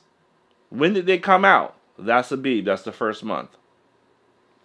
In the verse we just looked at, it should be clear that it can uh, in uh, clear that in connection with the first month of the year, the Pesach, Passover month, um, the Passover month, we see it also being called the month of Abib. Abib indicates a stage in the development of the barley crops. This can be understood by reading Shemot Exodus 9 31 through 32, which describes the devastation caused by the plague of hail on Mitzrayim because of Pharaoh's rebellion, his witchcraft. Abib indicates a stage in the development of the barley crops. So we're going to learn about some agriculture. Just a little bit. See, we got to learn these things, and it's okay. We're learning more. If you love Father and you want to know his ways, you shouldn't go, oh, well, I don't care about that. Don't, with somebody you love, don't you care about every aspect of their life? What do they like to eat? What type of flowers do they like? What kind of food do they like? Did I already say that? What kind of food they? Yeah, I did. What kind of clothes do they like? You know, and you you want to. What's their favorite color? Where were they born? What's their ethnic background? All these things you want to know somebody. So when you want to know somebody, you want to know all the information. When you're in love, when you're in love, This can be understood by reading Shemot Exodus 9 31 32, which describes the devastation caused by the plague of hail. Let's read. And the flax and the barley were struck, for the barley was in the head, and the flax was in the bud, Gibul. But the wheat and the split was not struck, for they were not they were late, dark, alfilut crops. Now we're going to talk about that. These verses relates relates that the barley crop were destroyed by hail while the wheat and split were not damaged. To understand the reason for this, we must look at how grain develops. We are going to learn some agriculture of how the life cycle of grain works, of grains work. With grains, or barley in particular, um, when grains are early in their development, they are flexible and they have dark green. They are a dark green color. As they become ripe, they take on a light yellowish hue and become more brittle. The reason that the barley was destroyed and the wheat was not is that the barley had reached the stage in its development called Abib, and as a result had become brittle enough to be damaged by the hail. The description of the wheat and the split as dark afalut indicates that they were still in the stage when they were deep green and had not yet begun to lighten into the light yellowish hue which characterize, characterizes ripe grains. Excuse me, my, my tongue stuck. In contrast, the barley had reached the stage of Abib at which time it was no longer dark. And it and at this point it probably had begun to develop golden streaks. We know from several passages that barley which is in the state of Abib has not completely ripened, but has ripened enough so that its seeds can be eaten perched in fire. Perch barley was a common eaten food in ancient Israel and is mentioned in numerous passages in the scriptures as either Abib perched, kau'ai, or in fire. You find that in uh, uh, Leviticus 2.14, or in the abbreviated for, uh, form perched, kau'ai or kaulai, which you find in 23:14 as well. Yahusha or Joshua 5:11, Samuel Aleph um, 17:70, Samuel Aleph 25:28, and Samuel Bat 17:20, Ruth 2, chapter 2, verse 14. While still early in its development, I, I didn't read all these out only because I have a tons of slides right now. And it would have been a lot more. So, you guys can look those up yourself on your own time and have any questions, please come back to us. uh, contact us. While still early in development, barley has not yet produced large enough, uh, has not produced large enough and firm enough seeds to produce food through perching. This, this early in its development, when the head has just come out of the shaft, the seeds are not sustainable enough to produce any food. At a later stage, the seed has grown in size and has filled with liquid. That's interesting. That little thing, there's liquid in it. And at, at this point, the seeds will uh, shrivel up when perched and will only produce empty skins. Over time, the liquid is replaced with dry material, and when enough dry material has amassed, the seeds will be able to yield barley perched in fire. Now, isn't that something? Some of you who are more advanced, do you are you getting some connections here? How do you you have to let the barley develop to a place to where then you can do what? Perch it by what? Fire. Doesn't that sound like our walk a little bit? Funny how nature will show you what Father's talking about about our walk. If we, if if he does it too early, it's not no, no good. But he does it when we're right. We get perched by that fire, then we produce a fruit. Don't be scared of fire. Just make sure the Father's not going to put you in the fire before your time.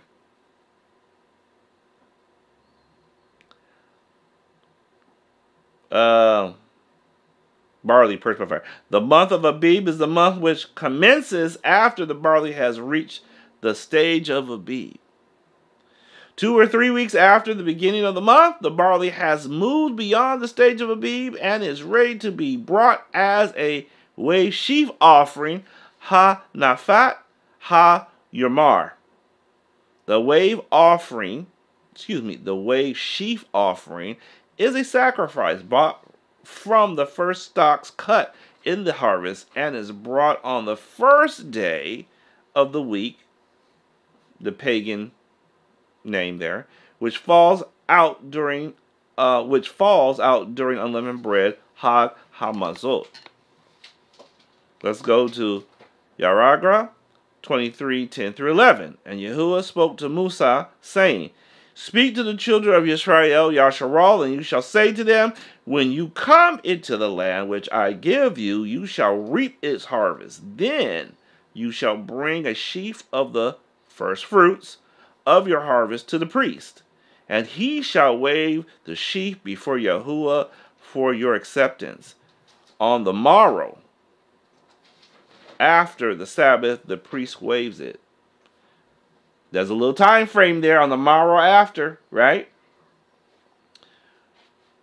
From this, from this is a clear, it is clear, excuse me, from this it is clear that the barley, which was Abib, at the beginning of the month has become harvest, ready about the 14th to 21st days after or later. Now we know that what do we know about the 14th day in Abib? What happens? Pesach. Interesting. See all these connections. Therefore, when the first month of the year begins, we should also see that the barley has reached a stage where it will be harvested, ready, two or three weeks weeks later. The understanding that some of the barley will be harvested, ready two or three weeks into the month of Abib is also clear from Debarim 16.9, uh, which states, Count seven weeks for yourself. Begin to count seven weeks from the time you begin to put the sickle to the grain. From your Agora 25.15, we, we know that the seven weeks between unleavened bread and Shavuot, Pentecost, as they call it in the Greek, begin on the day when the wave sheaf offering is brought. Let's read that. And you shall count from the morrow after the Sabbath, from the day you bring the sheaf for waving, they will be seven complete Sabbaths. It shall be it should be noted that not all the barley ripens in the land of Yasharal at the same time. This is often a common concern for many. Does all the barley need to be ripe by the time of first fruits? The answer is no, and I will explain shortly. Don't don't fret. Does a big barley need to be found in Jerusalem only? Or can it be anywhere in the land? The answer again is no. It can be found anywhere in the land, and I hopefully will clarify that as well.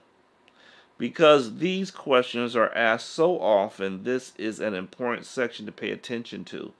This causes a lot of dissension. This causes a lot of uh, infighting, disagreements, and such. And actually, it's really simple. You know, when you have these types of discussions and arguments, and you cannot get to an agreement on Scripture, Scripture tells me all foul spirits are present. So, for those of you who have been in these type of conversations, just remove yourself. R remove yourself and go to Scripture and follow what Scripture says. Not them Jews, not me. Not follow what Scripture says to do. That's where you're safe. It is not. It is not important where in the land the barley originates. The reason should make sense. Everyone in the land is to bring the first fruits of barley into Jerusalem. So it does not matter where in the land it comes from. Father did not say, and he has said, only this spot you can do sacrifices. Only in this spot the temple can be where I place my name. See, where could the temple only be back then? The physical building. Does anybody know? Anybody here? Any any of you guys? Where could the temple only be? Oh, you guys don't know? Where the temple could only be? Uh, Jerusalem. Thank you, Jerusalem. It's the only place it could be. So if Father's so particular about certain things and he leaves out other stuff, if he left it out, nine times out of ten, that means not a concern. Get it where you can get it from and bring it in.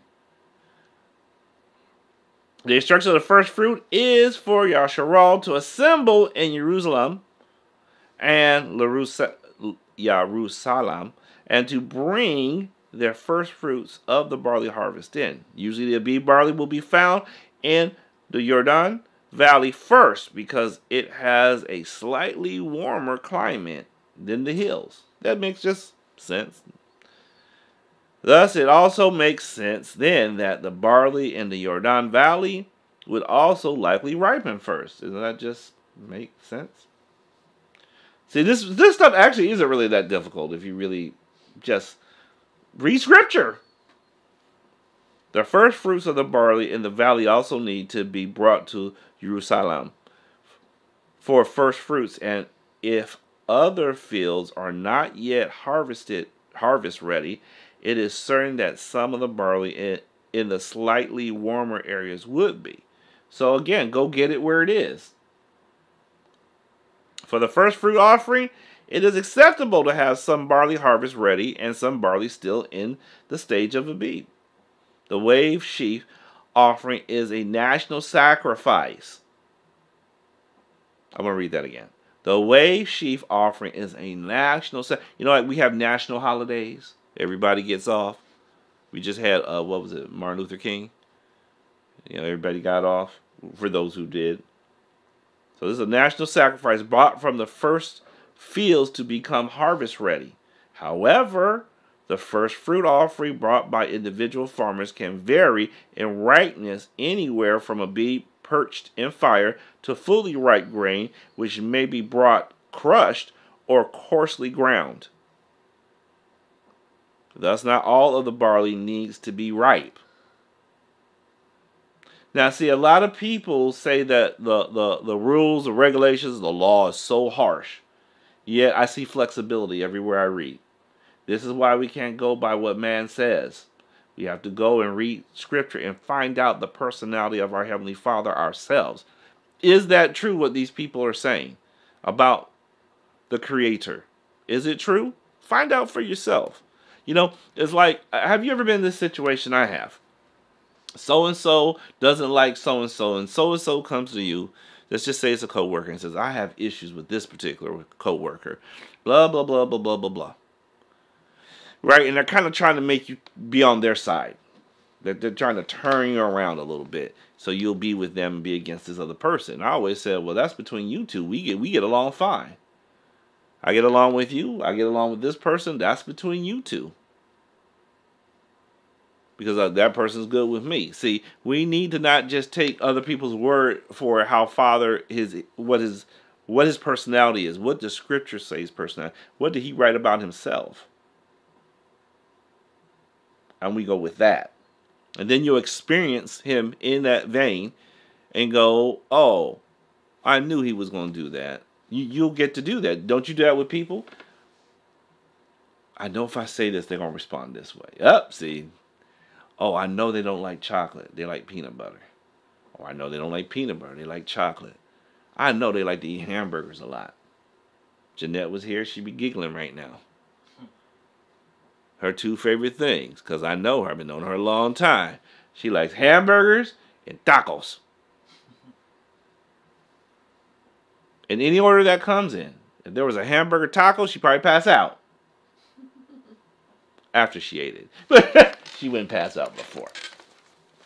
So, we need to get to know our Heavenly Father and how He is. Not, and not go along with what other people say. However, the first fruit offering bought by an individual farmer can vary. I already read that. Uh, this is what is meant in your Agra uh, 214. And if you bring a grain offering of your first fruits to Yahuah, bring for the grain offering of your first fruits green heads of green roasted on the fire. Of grain roasted on the fire. Crushed heads of new grain.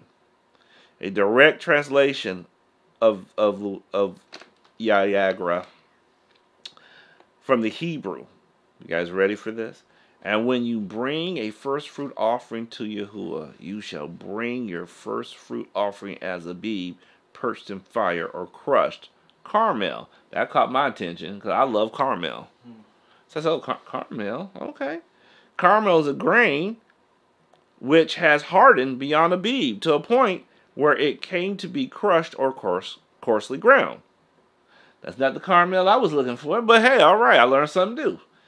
All of these passages have been translated directly from the Hebrew, and it is worth noting that the King James translators seem to have a very poor understanding of various Hebrew agricultural terms. The purpose of that book, that version of Scripture, was only for a rebellious reason. It was to rewrite some things. It wasn't for full understanding. And Yaragra, uh, they translate 214, they translate karma as full ears and Abib as green ears, whereas Yagra 2314, they translate Carmel as green ears. Barley, which is in the state of Abib, has three characteristics. One, it is brittle enough to be destroyed by hell and has begun to lighten in color, and it is not dark. Two, the seeds have produced enough dry material so it uh, so it can be eaten perched. Three, it has developed enough so that it will it will be harvested ready two or three weeks later. Pastor, what has it all got to do with figuring out when the first month is of the year? Hang in there with me. But we got to go through this route. There are witnesses of barley being Abib as early as March 7th in 2006 and March 8th in 2005, which is not at all that uncommon in Israel. Yasharal. The Abib barley can be ripe as early as March 21st. If Abib barley is found anywhere in the land two or three weeks prior to first fruits, then that means that there will most certainly be ripe barley um, beginning uh, being brought to the temple that could be used for the wave sheaf offering. Most certainly, not all of the barley will be ripe, nor does it have to be, as we just reasoned out according to the scripture we just read, Uragra 2.14. Typically, though, all barley is harvested by the end of April, if not sooner, and then the wheat harvest begins. So the Abib barley is a agricultural sign pointing us to the first month of the year is to be determined. If you have been paying attention, I hope you have. The question that should be forming in your mind is this How is a sign of barley a sign from the lights in the sky mentioned in Bereshit, Genesis chapter 1? Good question, Brother Aiden. That's that, that that's a Brother Aiden question. That's why I put that there. In a literal sense, it is not. In reality, it is more of a cause and effect. Let me explain. The lights in the sky cause spring to occur, and the barley begin Abib is a result of spring arriving. Do you see how that works? It is no different than saying in the season of spring there are flowers, but the flowers do not cause spring. It would be sort of silly to say that the flowers cause spring. Instead, the flowers are a sign of spring. Now, we had a little quick heat wave last week, in the week, uh, maybe a little bit the week before. And I'm going to tell you, I thought a lot of stuff, the, the spring stuff had disappeared on my flowers and stuff. Mm-hmm. They, they popped up during that heat. They thought it was spring. They start to pop up and out. I went, whoa, wait a minute, these aren't due yet. Because I'm I'm into gardening, so a lot of this makes sense to me. It is the na- it is the nature of the position of Earth as it relates to the sun and stars that dictates the arrival of flowers in the spring. We can look up to the sun and stars and know that spring is here as the first witness. That's key.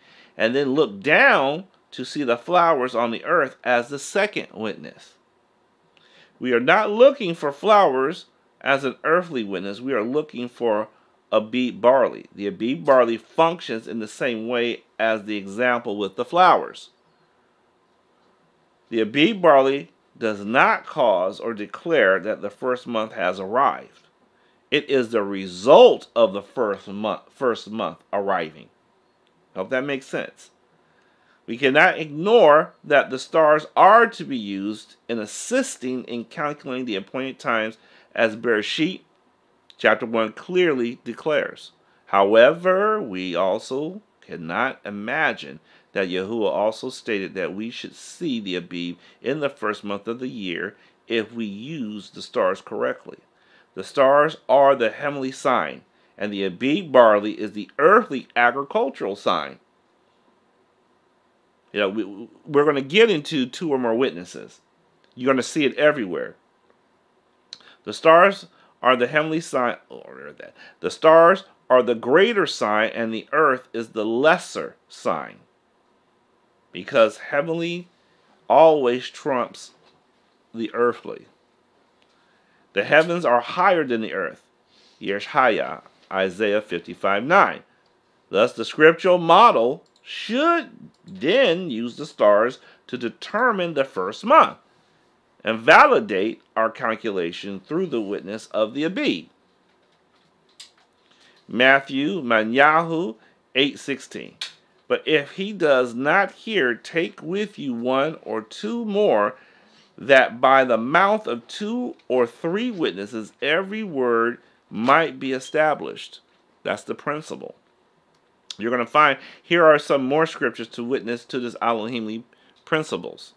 So Yohanan, John 8 17, 2 Corinthians 13 1, Timotheus Aleph uh, 1 Timothy 5 19, and I bring Hebrews 10 28. I'm going to leave that up there while I take a little sip for those who want to write that down. You're going to notice I'm going to do that a couple of times um, throughout this teaching because there's some information that I, I know you're not going to be able to write down so swiftly. Oh, they can't see the screen, can they? No, it's full screen. Oh, oh, they can see it. Yeah. Oh, awesome. Okay. Mm-hmm. Excellent. Okay.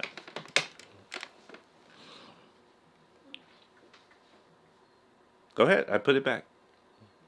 Sorry, this thing just takes forever to focus.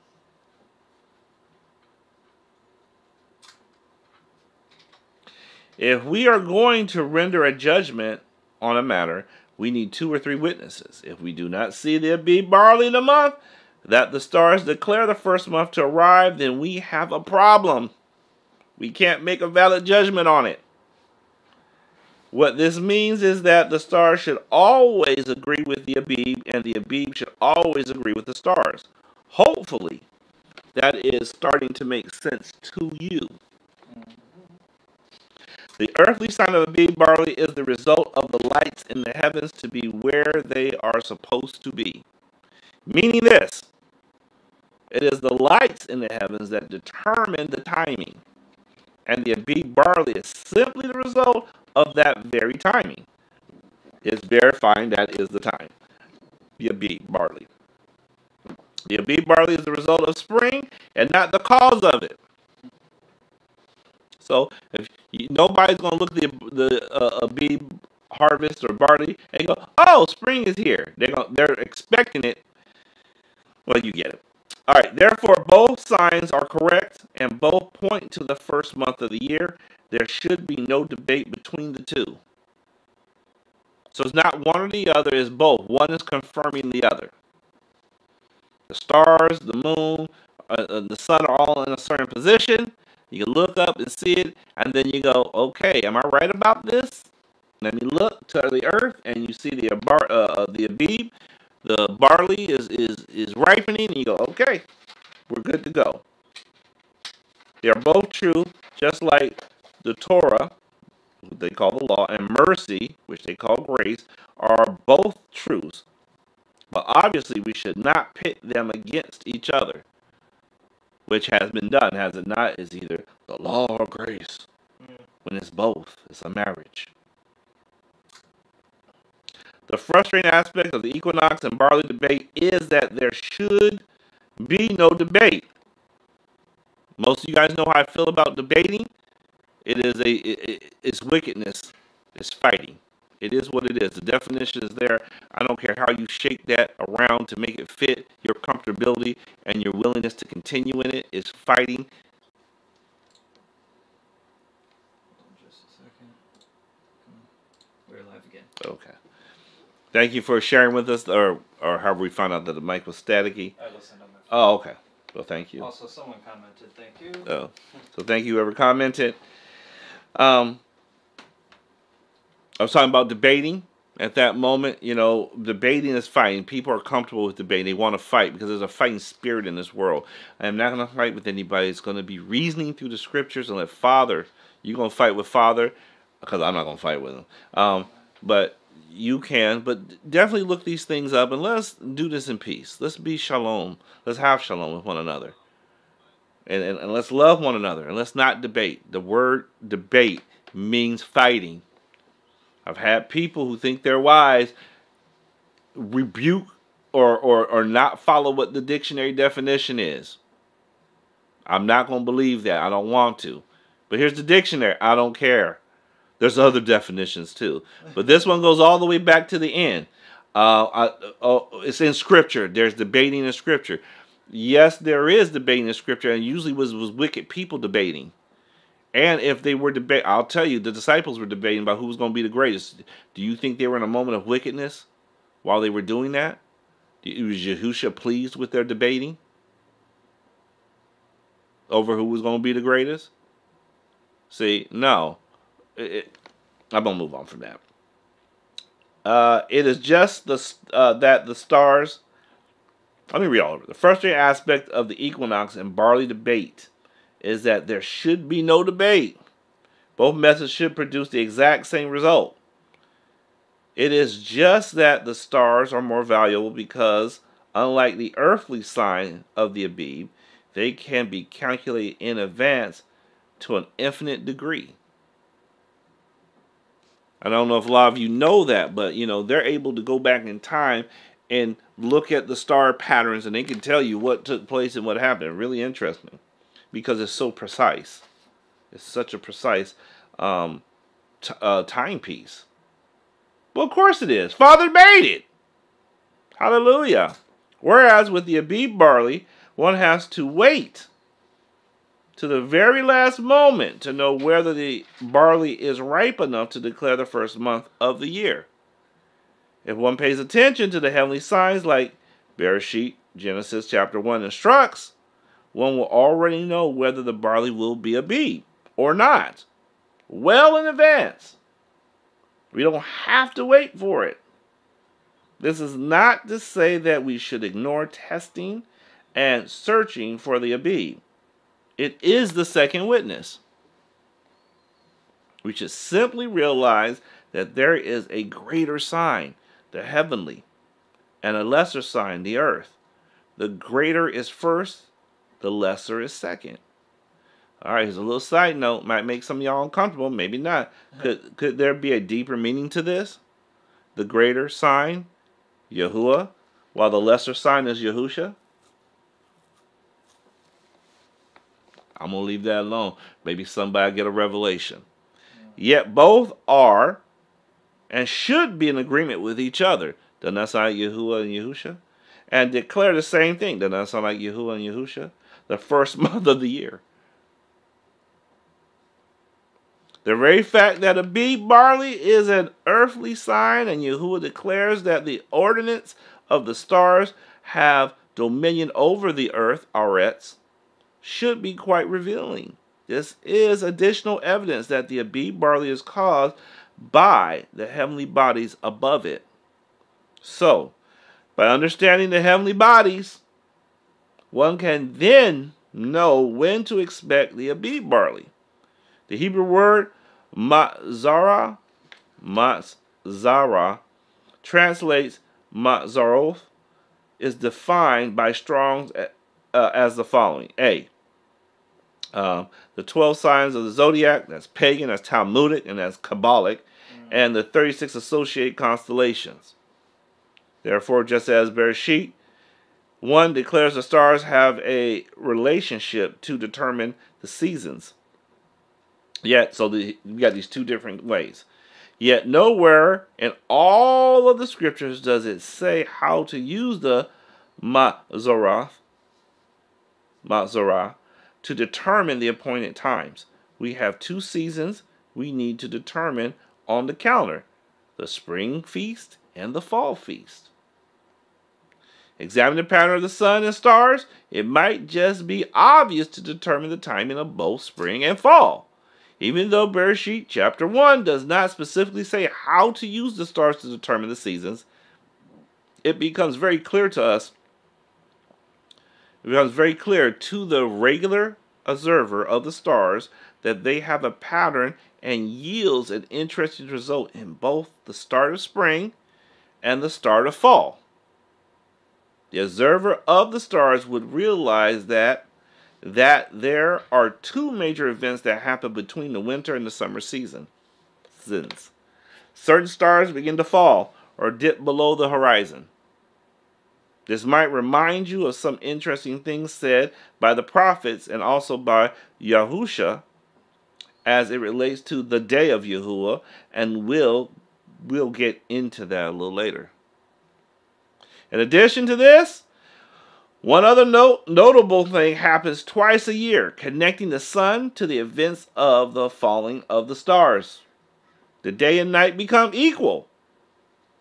Any observer would realize that these markers indicate a switch from winter to spring and from summer to fall. Again, as Bereshit declares, chapter 1, it is the stars, sun, and moon that play a role in his calendar, and we also see here how the sun is connected to the stars.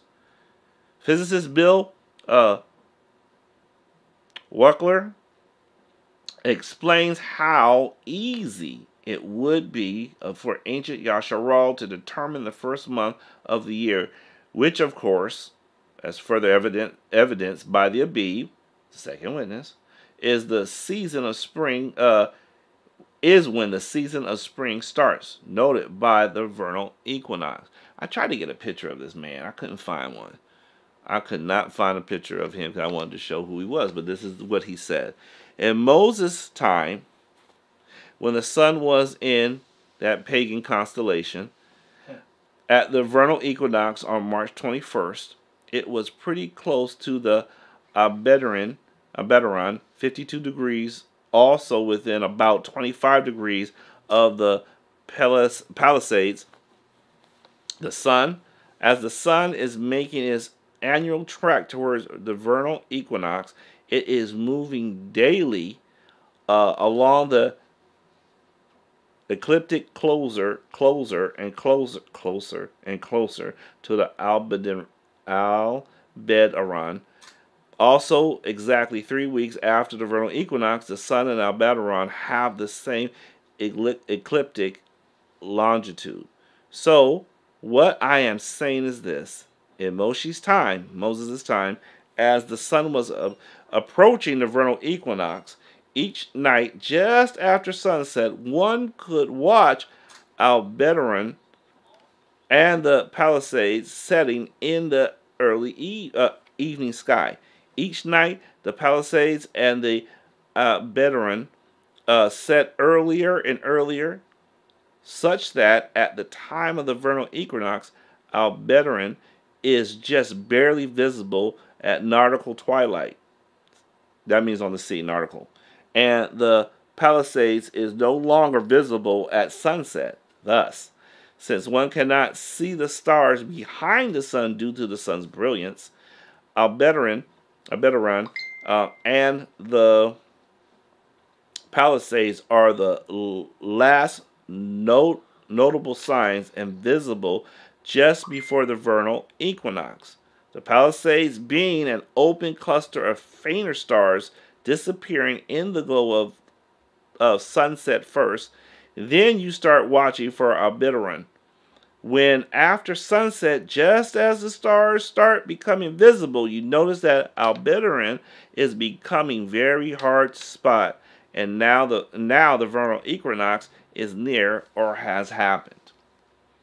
So we got we got a secular person says, "Yeah, they could have done it very easily." Philo, the Hebrew historian and contemporary of Yahusha, the Mashiach, and the apostles, says that Musa established the moon of the vernal equinox as the first month of the year. And there's the book and where you can read it, there's the information. Josephus, the Hebrew historian, also confirms this and defines it as when the sun was in um, that pagan deity's constellation.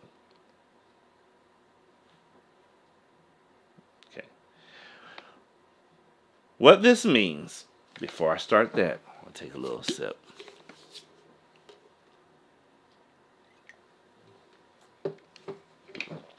What this means is that they would use the stars to calculate the vernal equinox and then use the timestamp of the vernal equinox to find the first opportunity for the spring feast to follow.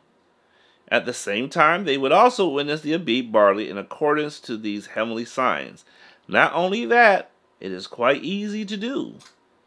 The reality is that in an agricultural sense, a farming community had to watch for such signs to determine the growing seasons. See, man is doing this already. I do it. I, I, have done it. I grow stuff. I, my, my winter crop is in. I'm already looking towards what I got to plant for spring and in summer.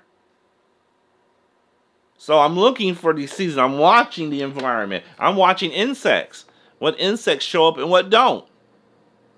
Because, of course, I'm looking at pollination as well. So these are things we naturally do. It is not it it is of no consequence that the spring feast begin at first fruits and that the fall feast concludes uh, with the end of the harvest. Both of these appointed times fall directly after the signs in the heavens by the stars. The spring feasts occur in the spring, on or after the spring equinox. The fall feast in the fall, on the close or after the fall equinox. In Shemot 34:22, we read that the feast of Sukkot is to occur at the year's end. Let's read that. And perform the festival of Shavuot for yourself of the first fruit of wheat harvest and the festival of ingathering at the turn of the year, Tak Ufa. The Hebrew word for year end here literally means turn or circuit of the year, Shona. So, we are looking for something that is a circuit of a year and it has a turn. As we reveal in the beginning in Bereshit chapter 1, we learn that the sun, moon, and stars are the determining are to determine the muadim or the appointed times. Sukkot then is one of the appointed times that are to be calculated using the sun, moon, and stars. So, out of the sun, moon, and stars, only the sun and stars contain an annual circuit. And the only observable turn that occurs around them, uh, uh, around the time of Sukkot, is the fall equinox. Some object to Shemot 34:22, referring to the equinox. However, the only yearly circuit turn that exists embedded in the pattern of the sun, moon, or stars established in Bereshit chapter 1 is the spring and fall equinox. See, this is why Father says we got to look at creation. We'll learn about him. Scripture will make sense, and then nobody can go against that because the evidence is in creation. The Hebrew word occurs, circuit, turn, um, three additional times in the Tanakh. Tehillim, Psalms 19.6, in the context of the circuit of the sun, says, its rising is from one end of the heavens, and its circuit to the other end, and not is hidden from its heat. And in the context of the fall feast regarding the birth of Shamael, we go to Shamael Aleph 1 in uh, verse 20, chapter 1, verse 20. And it comes to be at the turn of the days that Hananiah, or Hannah, excuse me, conceived and bore a son, and called his name Samuel, because I have asked you who will for him. We got Second Chronicles 24, 23. And it comes to be that at the turn of the year that the army of Amram, Aram came up against him, and they came into Yehuda and Jerusalem and destroyed all the rulers of the people from among the people, and sent all their spoil to the sovereign of Damascus. When the spring feasts are assigned to be the first opportunity following the spring equinox, the feast of Sukkot, and the last great day will either land on or close thereafter the fall equinox, just as Shemot 34 dictates. See, these are what this is why we gotta know some stuff. Because there are some as I mentioned earlier, there's gonna be some things Father has on his timeline, and they're gonna happen when he has appointed them to. So we need to know what what are these feast days? What is the first day of the month? How do we calculate it? Because he's going by his time frame, not ours. So there are important markers for both the spring and fall feasts that are particular to our Creator's calendar. Thus, not only do Yahuah's light in the heavens serve as markers for his appointed times, but they also serve as valuable and important agricultural markers as well to the degree that the average farmer would be already watching for them. So, as long as the first day of unleavened bread falls in the spring, meaning the first opportunity following the vernal equinox, then the barley will be ripe in the time for first fruits. And the fall feast of Sukkot will also be in the fall. The spring feasts are exactly that spring feast. They are there to mark the beginning of the harvest cycle. The fall feast of Sukkot marks the close of the harvest cycle when all of the grain is brought in. The equinox is the spring and fall, or the turn in which the circuit marked or mark the close proximity of the spring and fall feast. Also, that also agriculturally mark the start and close of the grain harvest seasons. There is a lot of consider there's a lot to consider there prophetically as well, but that is for another teaching. Promise you that. Though, though there has been reports of barley being ripe slightly before the vernal equinox, it is not possible for barley to be ripe a full month or one new moon early, thus ensuring that both the stars and the heavenly sign and the Abib, the earthly sign, are always in agreement with each other. Likewise, because of the short growing season of barley, it is not possible to make the first month of the year much later. Or one would fully miss the Abib barley for the first month. The spring feast will always be in spring just after the spring vernal equinox and the Abib barley. The fall feast will also be in the fall, or on or just after the fall vernal equinox. The common debate of barley versus equinox are really unnecessary because in reality, in the end, and for all practical purposes, they are just violently violently debates or violent debates fighting with each other and not a reason together of Yah's right ways. In the end, they produce the exact same result. The sun and the stars produce spring. Spring produces Abib. Spring produces the spring feast. Does that, I mean, that's pretty simple. I mean, it's kind of simple, right? Some have asked whether the first day of the month must always be after the equinox. By my studies, I have concluded that the spring feast must always be after the equinox because the spring feast must be in the spring. Unless somebody wants to send me some other information, I'm willing to review it. But per my studies, that's where I landed, ended up. Here's the problem. If we force the first day of the month to be after the equinox, whether one believes in the sighting of the sliver or conjunction to begin in the first of the month, and we and we will get to that soon, the problem would be the same. Remember, the Abib barley must be found within the boundaries first month or one lunar cycle. And there's the scriptures there to to uh, uh, say what scripture says about that. We already kind of went over them. If the barley harvest comes to a close in the last week of April, and because the earliest that barley becomes ripe following Abib is two weeks, that means that the last moment of any possible Abib in Yisrael or Yasharal could occur around April 9th to April 16th. This is what is important. This is what is important to realize.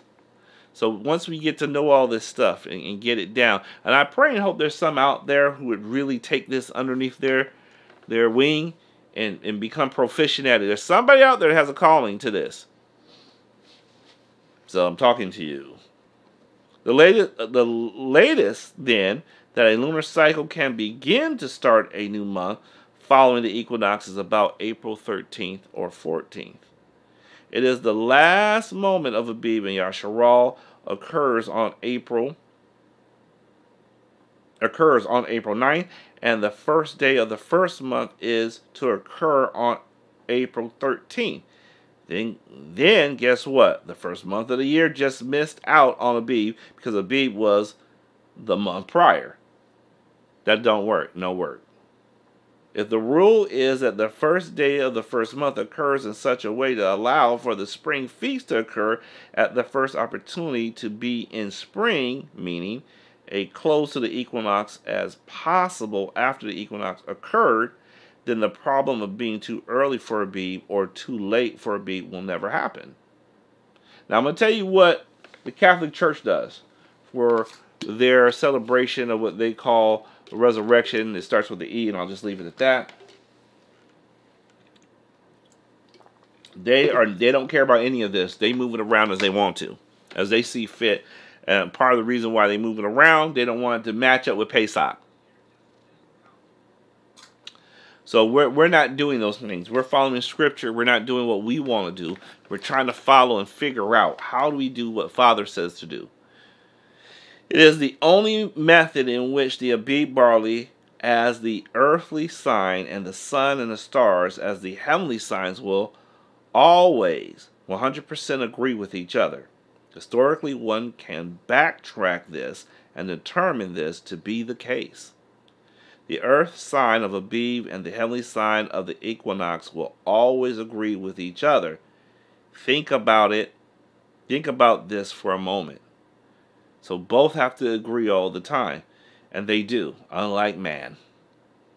Having the first day of the first month on the Hebrew calendar to fall near the second week of April for first fruit fruits would be very late in the barley harvest season. The harvest usually starts at the end of March or beginning of April. The Karaites focus on the Abib barley to determine the first month of the year is not wrong in any capacity. However, it is simply focusing on the lesser sign, the agricultural earth sign. The heavenly sign will produce the exact same result as the heavenly as the uh, as the heavenly signs agree with the earthly signs. Thus, there is not really any debate on that on this particular matter of the calendar, with the exception of the uh, Anuk or Enoch or Honuk calendar proponents, proponents, as they would object because of the usage of the moon.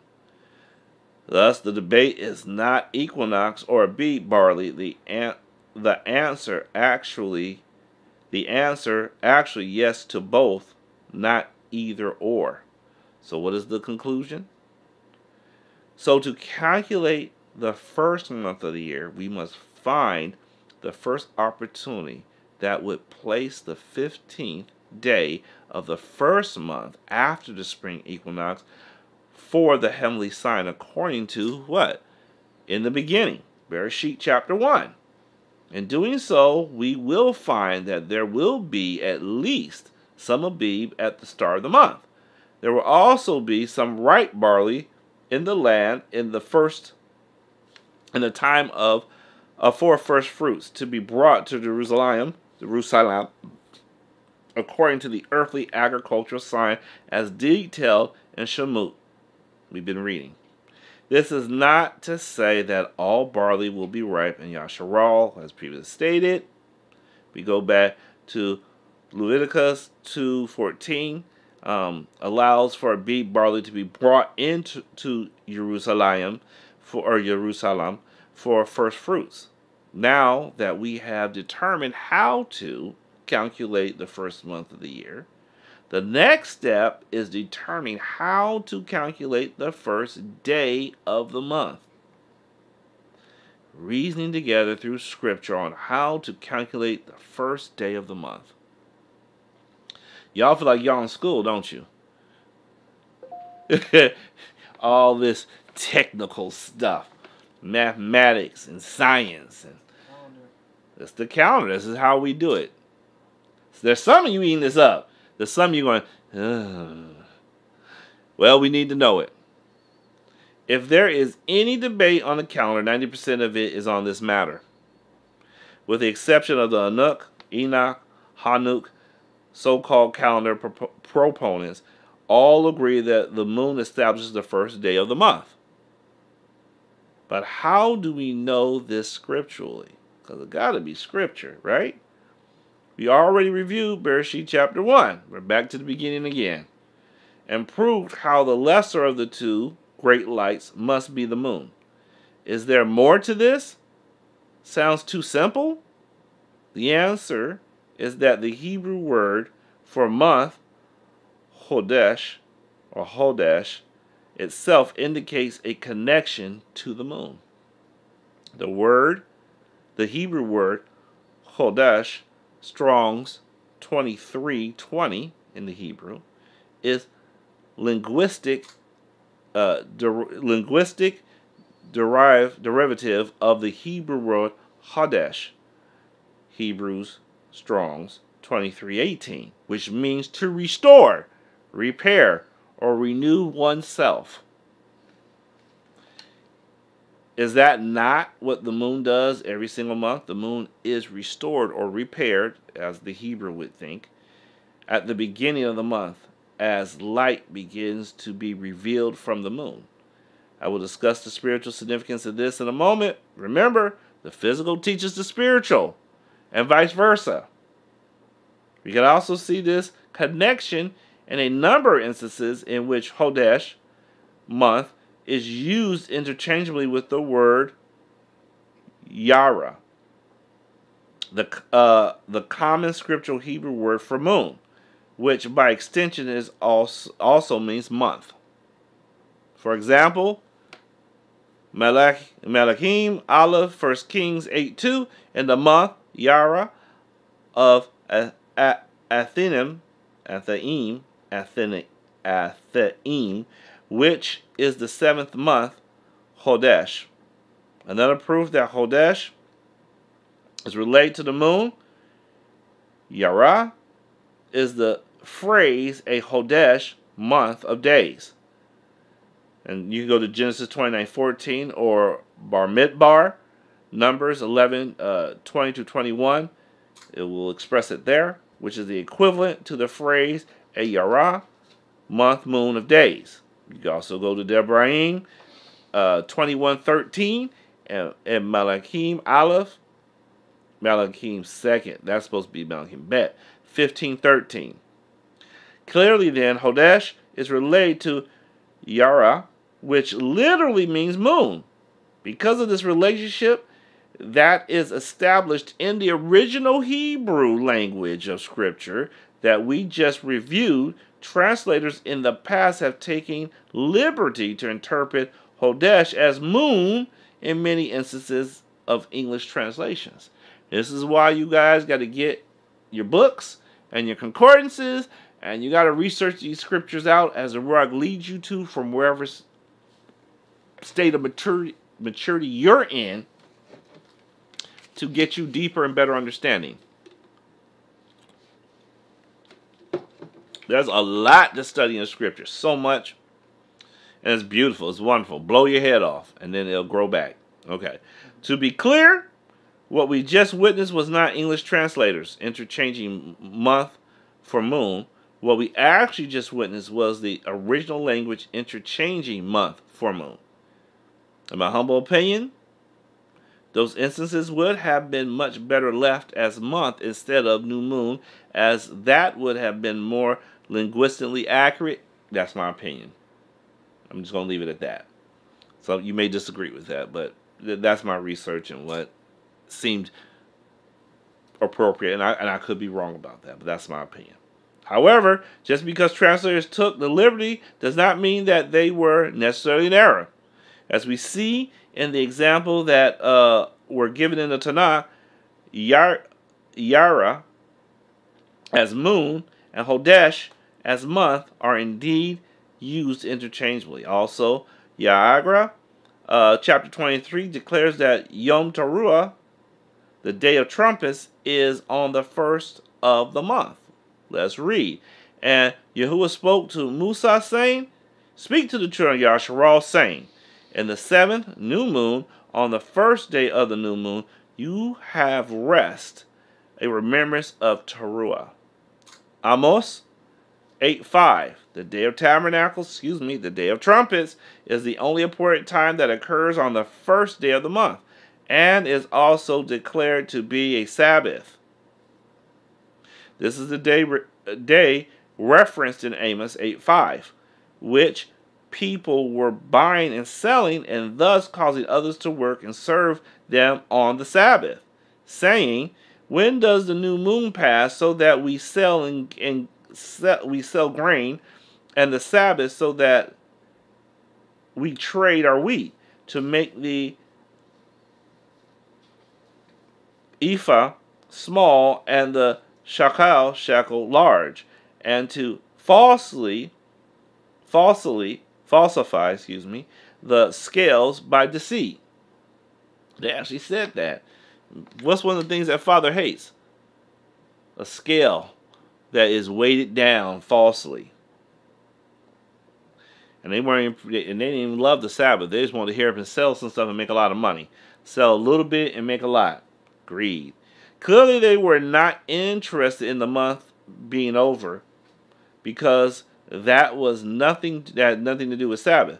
It must be another instance in which the Hebrew word for month is really uh, implied uh, is implying the moon. Excuse me, it's really implying the moon, and it must be a Sabbath because it is only on Sabbath in which we are not to buy and sell, so that others do not work for us, but instead rest. The only Sabbath that can be spoken of here is the only Sabbath that is determined by a new moon on the first day of the month. Recall that the root of the word of Hodesh means renewal or repair. They were selfishly asking when the renewal or repair of the moon might be over for Yom Teruah, the Day of Trumpets, so that the Sabbath would conclude and they could then buy and sell once again. I'm going to tell you something. I believe this is prophetic as well because it says that we won't be able to buy and sell, right? I, I believe there's a connection with Sabbath about not being able to buy and sell. I know a lot of people think it's going to be certain things. I believe it might be that, but Sabbath is going to be the, the, the main issue. The seventh day Sabbath. And people might say, why? This is Satan's world, and he doesn't want that proclaimed. He wants people to believe we came from monkeys. That's what he wants to believe. He calls humans animals. You're just a bunch of animals. And we are not. We're, we are creating an image of the Most High. We are royal priesthood in development. Hallelujah. This means that they were looking for the sliver of the moon to tell them when Yom Teruah, Yom Teruah, the day of, of trumpets, was over. Not when Yom Teruah, day of trumpets, was beginning. You got to read it correctly. Only some proponents of the Anuk or Hanuk Enoch calendar dismiss the usage of the moon, but it appears that could be a misunderstanding of the book of Anuk or Enoch or Hanuk.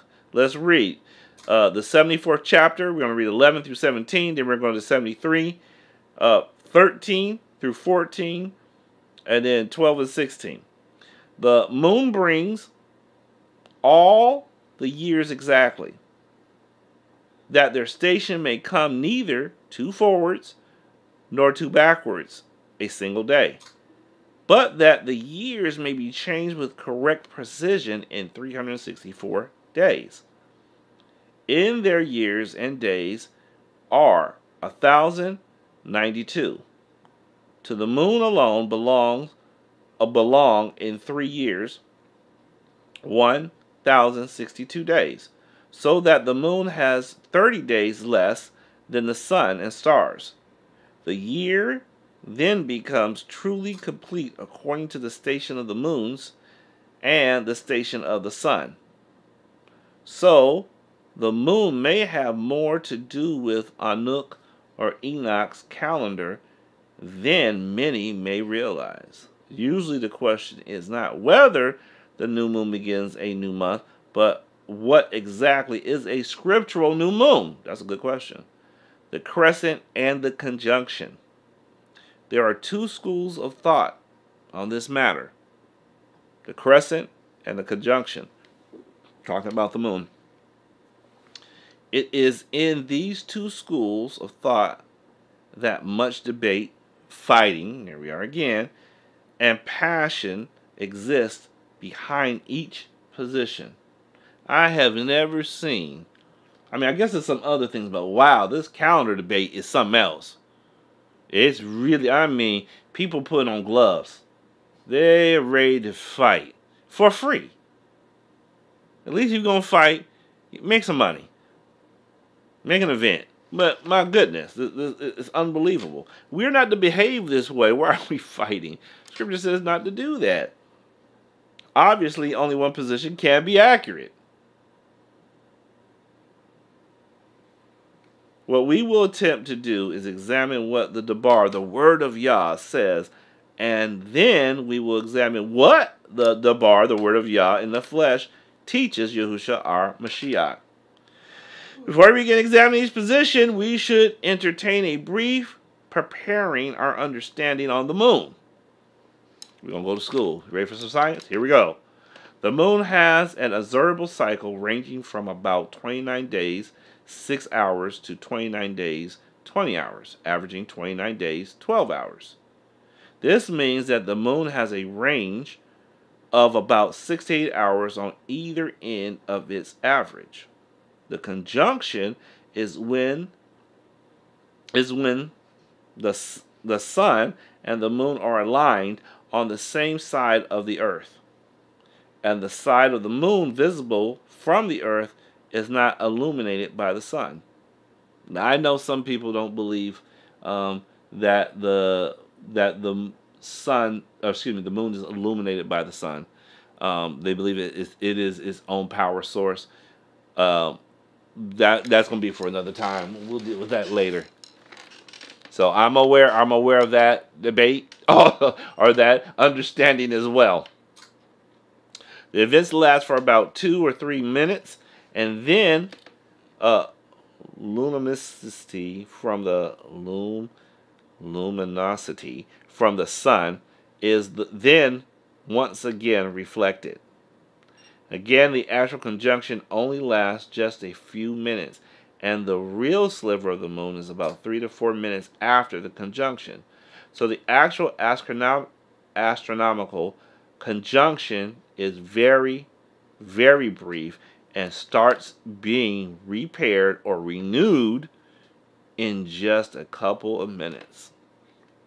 The actual debate fighting is not between moon conjunction and moon sliver, but moon conjunction and the ability to see the moon sliver.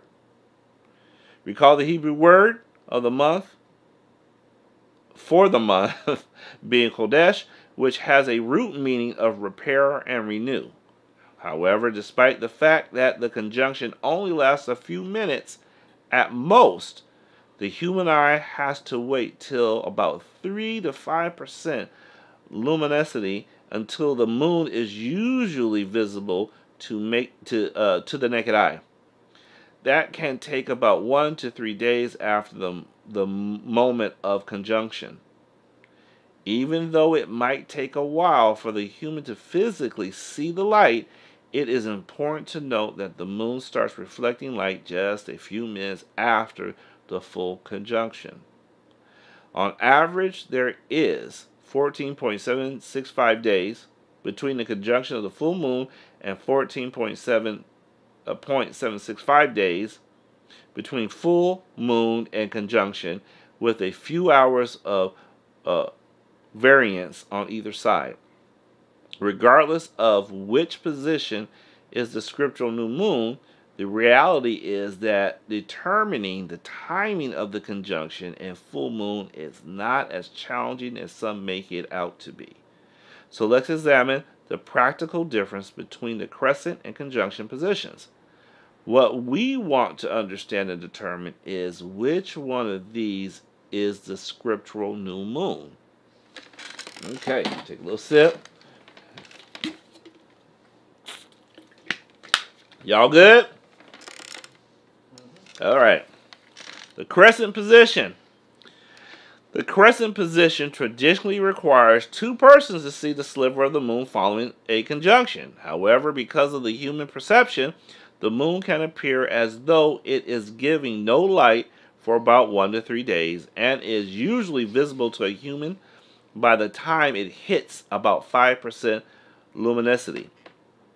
Once it is visible, it will be in the form of a crescent. Thus, in this view, the appointed days of Yahuah are determined by men seeing the visible light from the moon. Once the moon is sighted, The official first day of the month is determined and clear uh, de- and declared by men, and uh, and they announce it to the rest. The conjunction position. The conjunction position establishes the first day of the month on the day of the conjunction, or sometimes the day after the conjunction, depending on one's position. Observation of the nearing conjunction and then arrival conjunction would suffice for most situations. However, in moments of when observation is not precise enough, there is a math at the eighth grade level that they could have used to calculate the moment of conjunction. Now, I'm going to tell you something. This is eighth grade, but this is beyond me. I can tell you that. So I debated with myself if I was going to put this in or not. But there's somebody out there that understands this, will eat it up, and love it. So, for one uh, that is interested, here is that math. So I'll leave it up there for a little bit. Uh, this math is at an eighth grade level. Apparently, my math has never been that good, and so uh, I need somebody who is greater than I in math to show me this. I looked at him and, eh. So it's up there for you guys to, to take shots of or whatever. And uh, for those of you who are proficient and have that gifting, hallelujah. It looks complicated, and in some respects it is. At least for us. Maybe I should say me, but con but consider the ancient civilizations computed things much more compl uh, much more challenging than this, as we covered earlier. The ancients were able to do it. They didn't have the internet. They, they were able to do this. They were very amazing. The ancient monuments are still um, existing temporarily, or testimony, excuse me, are still existing testimony to their mathematical accomplishments. So we would be silly to assume that this was way too complicated for them. There are structures today that even ancient pagans built that we still could not build today with our, technolo- our technology and knowledge. We can't do the pyramids. And over in, in Peru, there's all these structures, and they're so precise. And science can't figure out. They're scratching their heads. How did they do this with, with no uh, modern toolage? Um, they did it with ancient tools. Amazing. So many claim that calculating anything in the heavens was beyond them is clearly misguided. Once the calculation is completed, the first day of the month is then determined and declared, perhaps months or even years in advance. This means that the Hebraic calendar could have been known by all those in Israel for years in advance. It's possible. One, once calculated, it could be disseminated to everyone quite easily at the three annual feast days. This is a real difference between using the conjunction method versus the sighting method. So there's all these little nuances we don't really know. Uh, you know, did how did they know? Did they pass around? did they not? There's you know there's things you can kind of think consider, but you know Father couldn't put everything in the book. It'd be too heavy to carry around, and I mean, we have a hard enough time understanding what we got. Too many scrolls. Oh, oh my goodness gracious, Chef Bardi. Okay. There is a real difference, or I read that. The uh, practical difference between crescent and conjunction is the difference of one through three days, and a one to three days is not to throw off any, uh, not to throw off every appointed day if one is using the incorrect method. And the one to three days is enough to throw off every appointed day. I didn't like how I read that. If one is using the incorrect method. But what is the correct method? This will take some study and explanation. Regardless of what direction we go on this matter, we realize we are going to upset some people with any position we take. Can't make everybody happy. But this this ministry is not here to make everybody happy. We're here to make Yahuah happy. And those who want to make him happy can join us and be with us and let's make him happy.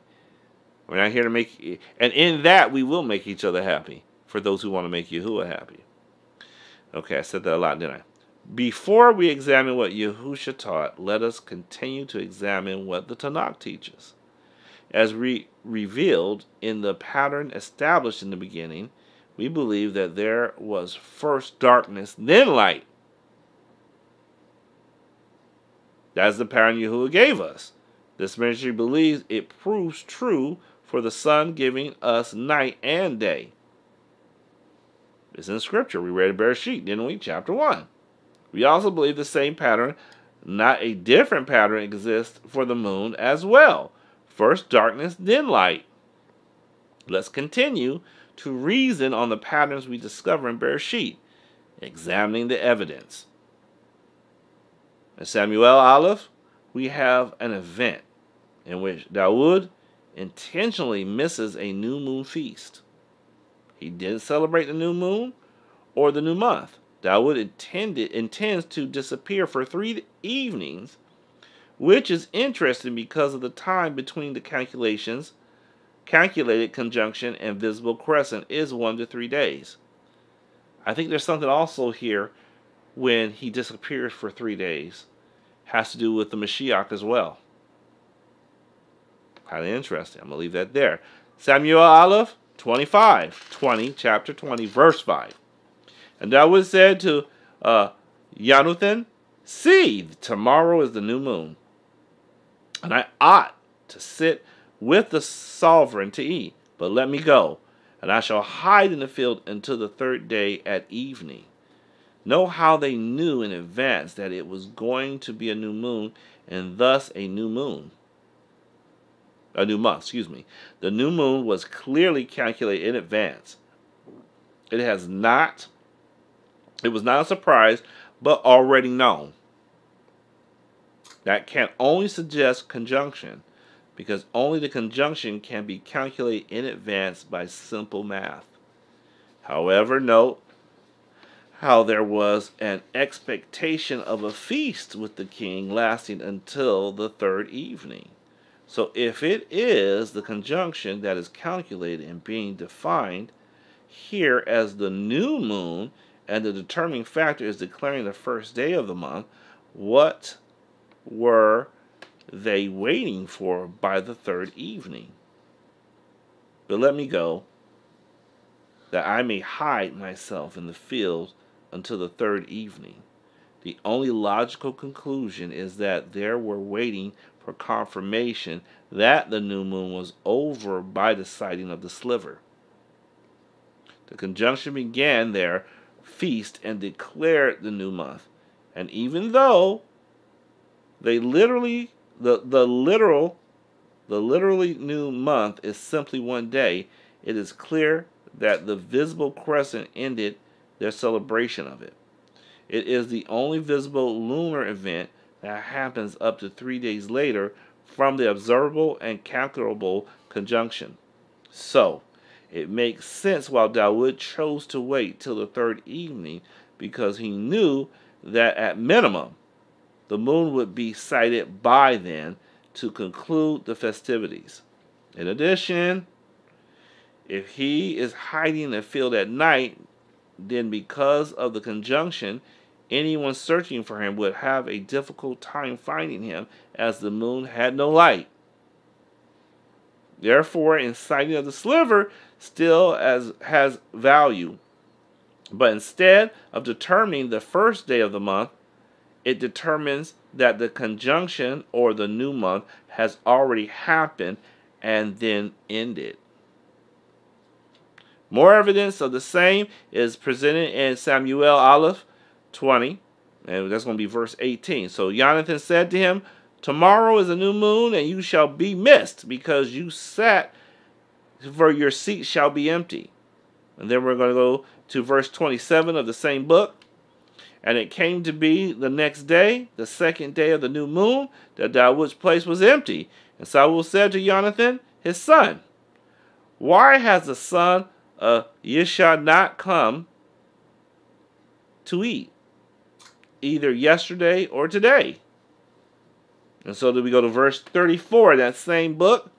And Jonathan rose up from the table in the heat of displeasure and ate no food the second day of the new moon, for he was grieved for Dawood because his father put him to shame. The time between the conjunction and the visible crescent is one to three days, as we've already said. Why would a new moon celebration last up to up to several days with a lunar sighting only perspective? The new moon would begin when the moon was sighted and conclude the following evening. What we have here is a feast that begins with the conjunction as the start of the month and ends with the crescent to validate that the new moon did occur and is conclusively over. It is only in that situation that the celebration as a tradition, I want to emphasize that it was a tradition, the celebration, would continue for more than one day because in that method, the first day of the month is not declared until the sliver of the moon is sighted. The conjunction established the first day of, month, of the month, and they waited till the sighting of the crescent to confirm that the conjunction happened as expected. That can take anywhere, again, from one to three days, whereas the sighting only method is always just one day. We also see that this mentally surface with the corrupt and uh, with the corrupt and Sabbath breaking merchants who buy and sell on the Sabbath.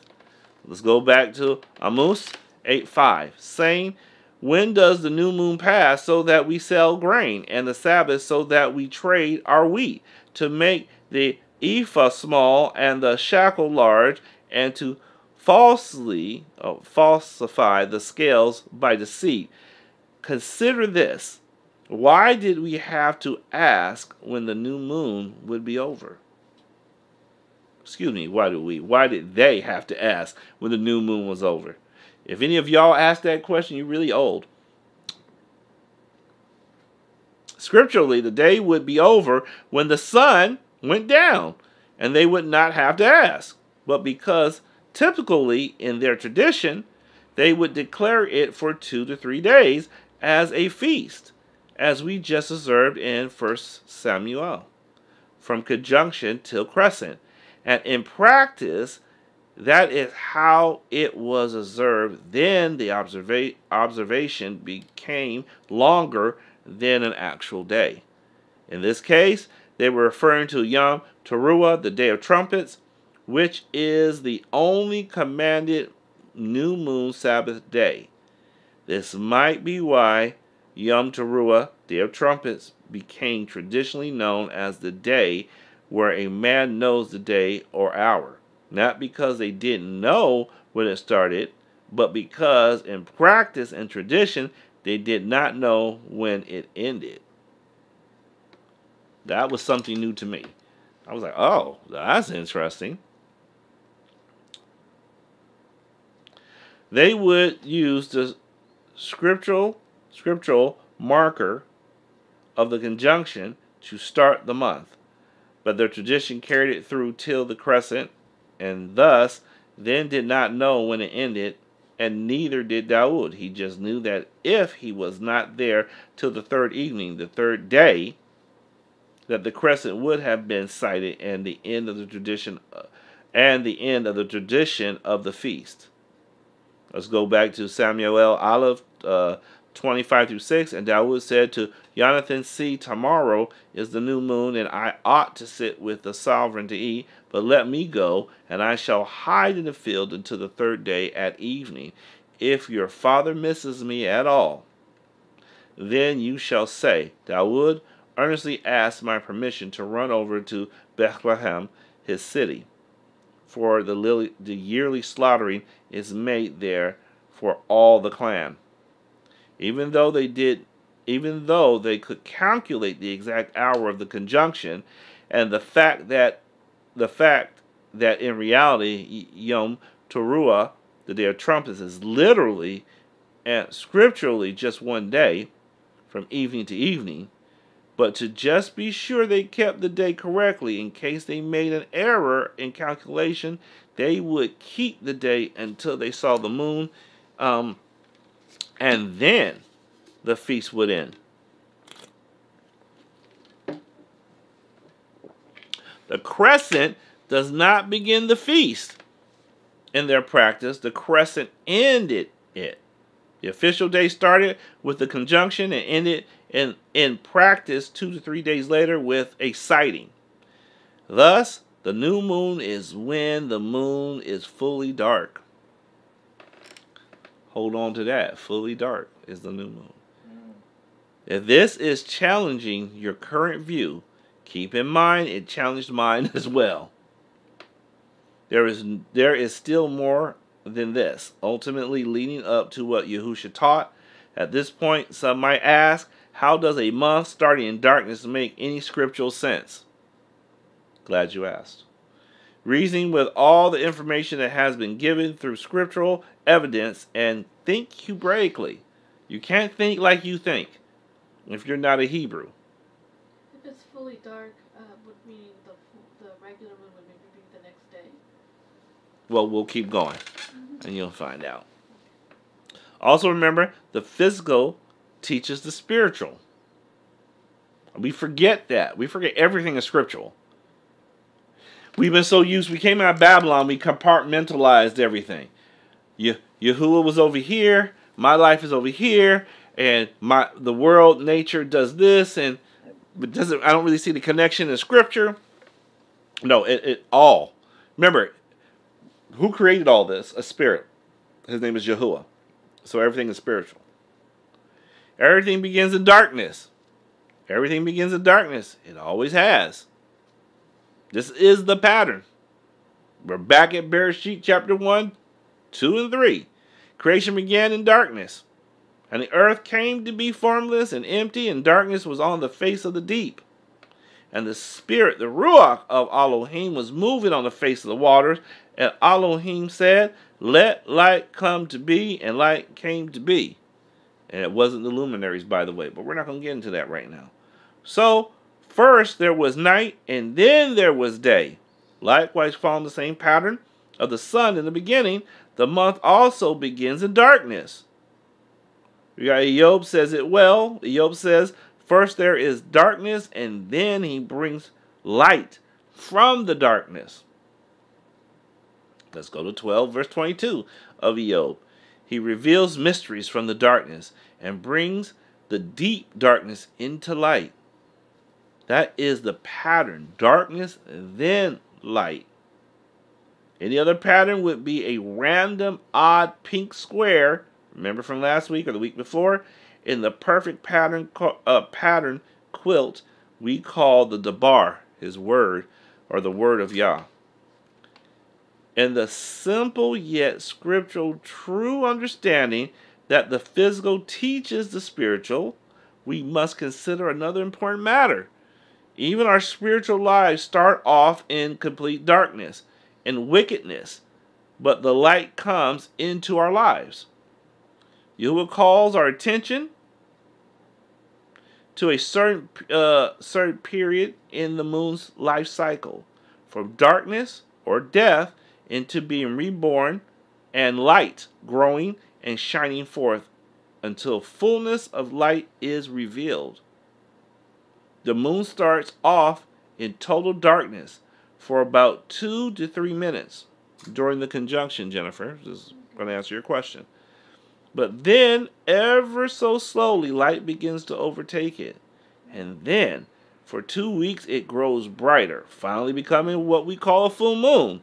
100% light at Pesach, Passover, and unleavened bread in the spring, and Sukkot in the fall.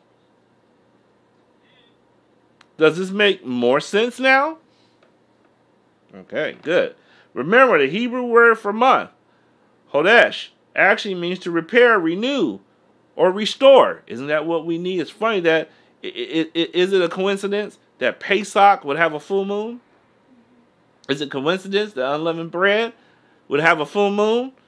Is it coincidence that Sukkot would have a full moon?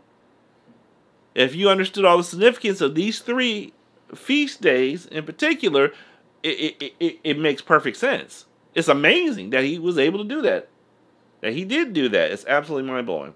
Yahusha calls our attention to the moon from conjunction to determine the new moon month to the full moon in which unleavened bread and Sukkot um, fell. I think that's supposed to be Yahuah, actually. Indeed, darkness is very important to Yahuah. The covenant with Abraham was made in darkness. Bereshit 15.7. Pesach Passover took place in darkness. Shemot Exodus 12.20. Right? When, when did Father tell him to leave? Not during the day. It was the evening, was it not? Now you leave. Yahusha rose in the dark. Yohanan 21, 20, verse 1. In fact, Yahuah dwells in darkness. Shemot 2021. Malachim, Aleph 812. Tehillim 1811. And the very creation itself began in darkness. Bereshit chapter 1, verse 2, and ends in darkness. Hazon 2011. We did not start off in our lives giving uh, giving light. We started off in our lives in darkness, literally in the womb. Until we began to reflect his light by coming into the faith.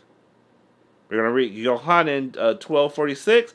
I have come as a light into the world so that no one who believes in me should stay in darkness. That means before we had Yahusha and everybody who don't, they were in darkness.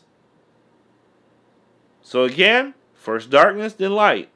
So then at the point of belief, at the point of belief, begins a process that starts in darkness and that culminates in our inheritance in the end, which is in full light. The spiritual process, of course, relates related to the messianic events uh, that transpired and will transpire prophetically, respectively, at the spring and fall feast when the moon reaches 100% luminosity. Do you see what this process teaches us? If you don't get it now, go over it again. You'll get it. These examples are all over Scripture. Let's go to Acts 26 18. To open the eyes so that they may turn from darkness to light. See, darkness is first. There it is again. And from the domination of Hasatan to Yahuah. That's darkness again. Hasatan and then going to Yahuah, who is light. And they may receive forgiveness of sins and an inheritance among those who have been sanctified by faith in me. Again, here's another pattern darkness, then light. There is a personal application in these understandings, but also perhaps a global application and his body as well. Remember, it takes two weeks for the moon to go from complete darkness to full light. When Yahusha arrived, it was said already that we were in darkness. But when he arrived, the light began to return to his people. Hallelujah. Yohanan Aleph uh, 2 8. On the other hand, I'm writing a new command commandment to you, which is true in him and in you, because the darkness is passing away and the true light is already shining. Hallelujah. Consider this.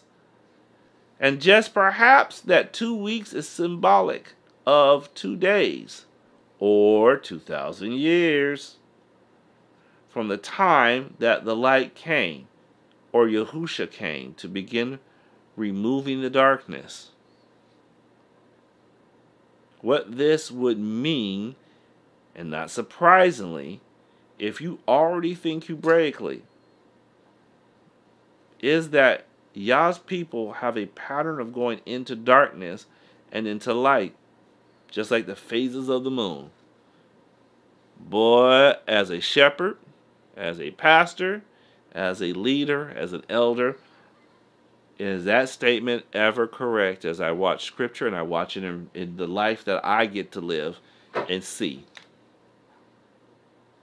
However, perhaps about 2,000 years after his first coming, as indicated in the two weeks of the moon cycle of darkness to full light, he will return, and the first resur- and the first resurrection, will bring us into the full light, shredding our flesh and putting on our incorruptible bodies. Hallelujah! I can't wait for that. I don't know about y'all. I don't know about y'all, but I'm excited about that. Can't wait. I will take my time. I gotta wait on Yahuah. And but when that day comes, not to be in this body no more. Come on, we all struggle, right? We're all trying to do what's right. But we're. Imagine that never being the case anymore. Imagine that. Always doing what's right. Never having a thought of wrong. Oh man, I look forward to that day. Think about it this way the moon reflects light and has no real light of its own. I know some are going to debate that. Some think it's his own light uh, power source. We'll just leave it at that for right now. Isn't that just like us? We reflect his light as we have no real light of our own. His light is his Debar word, or Yahusha. This is why the Yom Teruah Day of Trumpets has to be on conjunction. Yom Teruah, the Day of Trumpets, is when the shofar is to sound, to cause all to wake up from the darkness that they are in, and lead them in, uh, lead them to the full light of Sukkot when the Mashiach dwells with us. You guys seen the connection? Do you see how the physical teaches us the spiritual? The day of Yahuah and the new moon. Most already agree that Yahusha's return on the future Yom Teruah Day of Trumpets. So most of us already agree on that, right? When Yahusha arrives, it is the beginning of the day of Yahuah. Let's go to Hazon 26. Blessed and set apart is the one having part in the first resurrection, and the second death possesses no authority over them. But they shall be priests of Yahuah and of the Mashiach, and shall reign with him a thousand years. But why is a thousand years of the masters of the master called the day of Yahuah? The answer is in Yahuah's plan of seven thousand years. Remember, the end is revealed in the beginning. Yeshaya, Yeshaya, Isaiah 46:10. The teaching of the seven days of creation parallels um, Yahuah's 7,000 year plan for man as it extends them into eternity. The last thousand years is the Sabbath day, the seventh day, or the rest that we are waiting to still enter. It is the day of Yahuah that we look forward to, the rest we are promised to enter. Uh, it's gonna be rest from all this stuff that's going on right now. We ain't gonna wear. There ain't gonna be no corona, nothing. There ain't even gonna be the city corona. okay, it's not. We got a city named Corona. That's gone. It's gonna be gone. Hey, we ain't gonna have those things no more. We won't be having all this turmoil, wondering what's going on every day. Curfew, this and that and the other. Death is gone. Well, not gone completely, but for us, those who transform, in, in the resurrection, yes. This is what our brain Hebrews 4.1 is referring to. Therefore, since the promise of entering his rest we stand, uh, still stands, let us be careful that none of you be found to have fallen short of it. That's a warning, by the way. Be careful that it, we're waiting for this. Don't be found short of it. It's coming. It is, it is the day of Yahuah that we are waiting for the thousand year the thousand years of the master. This is not a new concept. Kepha also knew about the thousand year period being considered as a day. Let's read in his uh, Kepha bet, uh, 2 Peter 3 8. But, beloved ones, let not this one matter be hidden from you, that with Yahuah one day is a thousand years, and a thousand years as one day. Kepha was not even making this up, but was already an established, but was already established and revealed as a principle. He was simply quoting Tehillim 94, chapter 90, verse 4. This see, they all talk Tanakh. They all took talk Torah. They didn't pull nothing new. This is even prophetically hinted at in Iyob or Job, in which we will experience six days or six thousand years of evil and trouble, but in the seventh day or the last thousand years, evil will no longer touch us. Meaning this, we will experience the first resurrection at the beginning of the day of Yahuah and be in uh, be in our incorruptible glorified bodies, and thus on the seventh day, the last thousand years, evil can no longer touch us. Hallelujah. I don't know. I look forward to this. This this is what I'm living for. I tell you this day. I'm living for Yahuah, but he says that I get this if I live for him. And yes, I think about this all the time. That's why I'm not going to the left or to the right. I'm, I'm going to get this. I'm going to do everything I think I can to get it, at least. And what Father Shet says, I'm going to do my best. Let's read Iyob, Job 5.19. For six troubles he will deliver you. Even in seven, evil will not touch you. We all already knew this, but not all of us understood the time components of the process, nor understood that the day of Yahuah is a thousand years long. The question might be asked, of what importance is it is it realizing that Yahusha will return on on Yom Teruah, Day of Trumpets, to begin the day of Yahuah. This is where it becomes interesting. If Yom Teruah, Day of Trumpets, is on the new moon, and Yahusha returns on a new moon, then even the prophets declare that the new moon will look like uh, what the new moon would look like on the start of the day of Yahuah. Let's read. Yeshaya, Isaiah 13, 9 through 10. See, the day of Yahuah is coming, fierce, with wrath and heat of displeasure, to lay the earth waste and destroy its sinners from it. For the stars of the heavens and the constellations do not give off their light. The sun shall be dark as its rising, and the moon not seen out of its light. So, if Yahusha returns on a new moon, Yom Teruah, the day of trumpets, we see that it is expected that the new moon looks exactly like we would expect it to look. It is giving no light. Yahusha said the exact same thing about his return. Let's go to Marcus 13, 23 to 27. And you take heed, see, I have forewarned you of it all.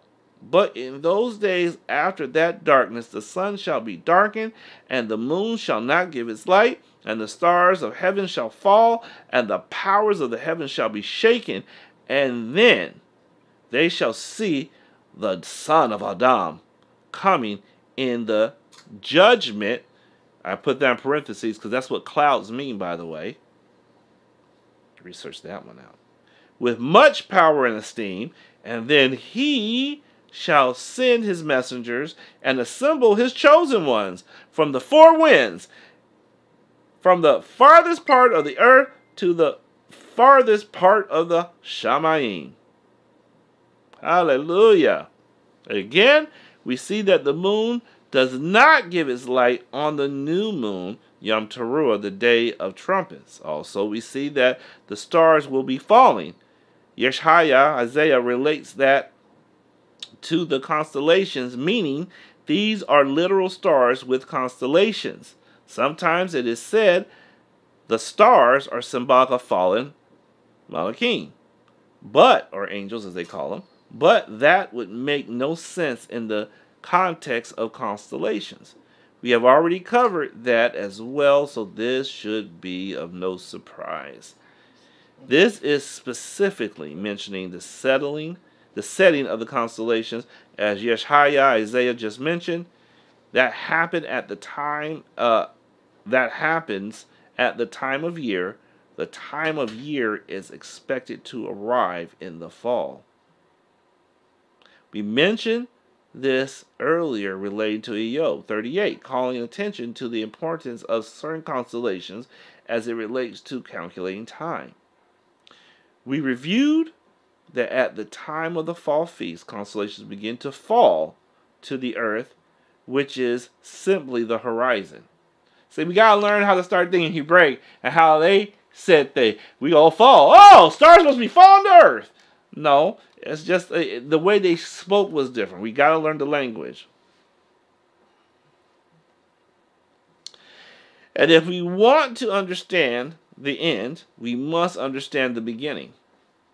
And since since the beginning, Yom Teruah, the day of trumpets, the moon has not given its light, and the stars have not fallen to the earth in the fall equinox. So according to the prophets, the moon not giving its light is uh, is the very definition of a new moon conjunction, which helps solidify the fact that Yahusha's return on Yom Teruah, the day of trumpets, the only appointed time on a new moon.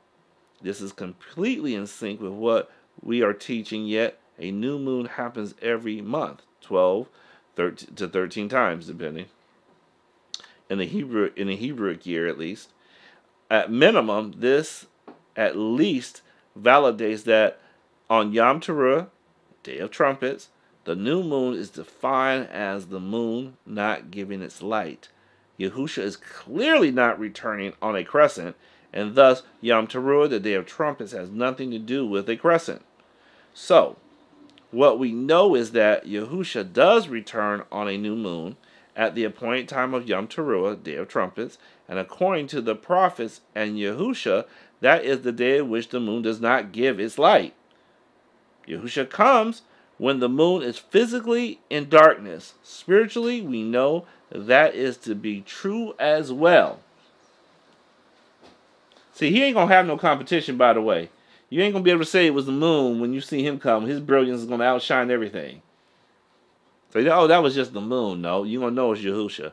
Yahusha came when the world is not reflecting the light of the Father. This means that Yahusha will not be arriving at the sighting of a crescent, though it should be should go without saying. It is not possible to sight a crescent when the moon does not give its light. Um, in this instance, we have Yahusha teaching on the calendar in the uh, in the Teruah of Yahuwah in one of the ways we wanted to cover. Remember, Yahusha came to fully teach the Teruah, uh, Teruah, the Torah of Yahuwah. This is one of the ways Yahusha revealed Yahuwah's calendar for his people. Excuse me, that's supposed to be Torah, not Teruah.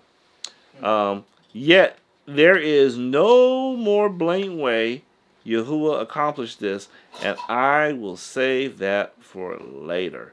Because we covered what Yahusha taught on this subject, we should cover other uh, another example of the scriptural teaching and defining the new moon. New moon in conjunction in Psalms. See, we got to take all the scriptures together. We got to put it together. Tehillim's 81, 3 through 4, blow the trumpet at the time of the new moon. At the full moon, Keka, Keka, Keka, Keka.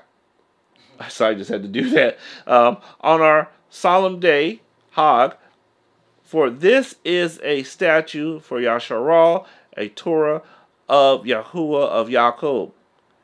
This he established in Yosef. Yosef. Some might not be any stranger to this verse. Some state that the word translated as full moon, keka, is indeed a transl is translated as a full moon.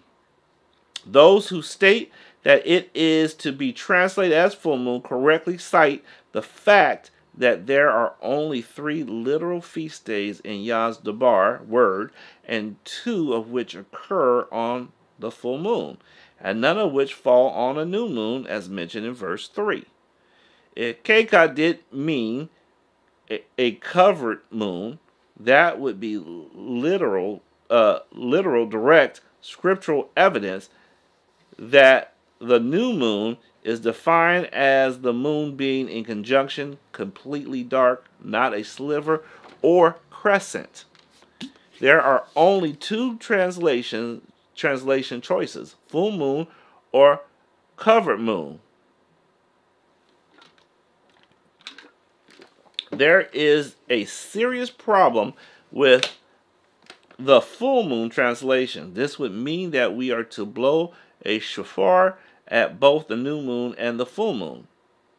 Tehillim states that it is a statue of Yasharal and in an instruction or an instruction or Torah of Yah.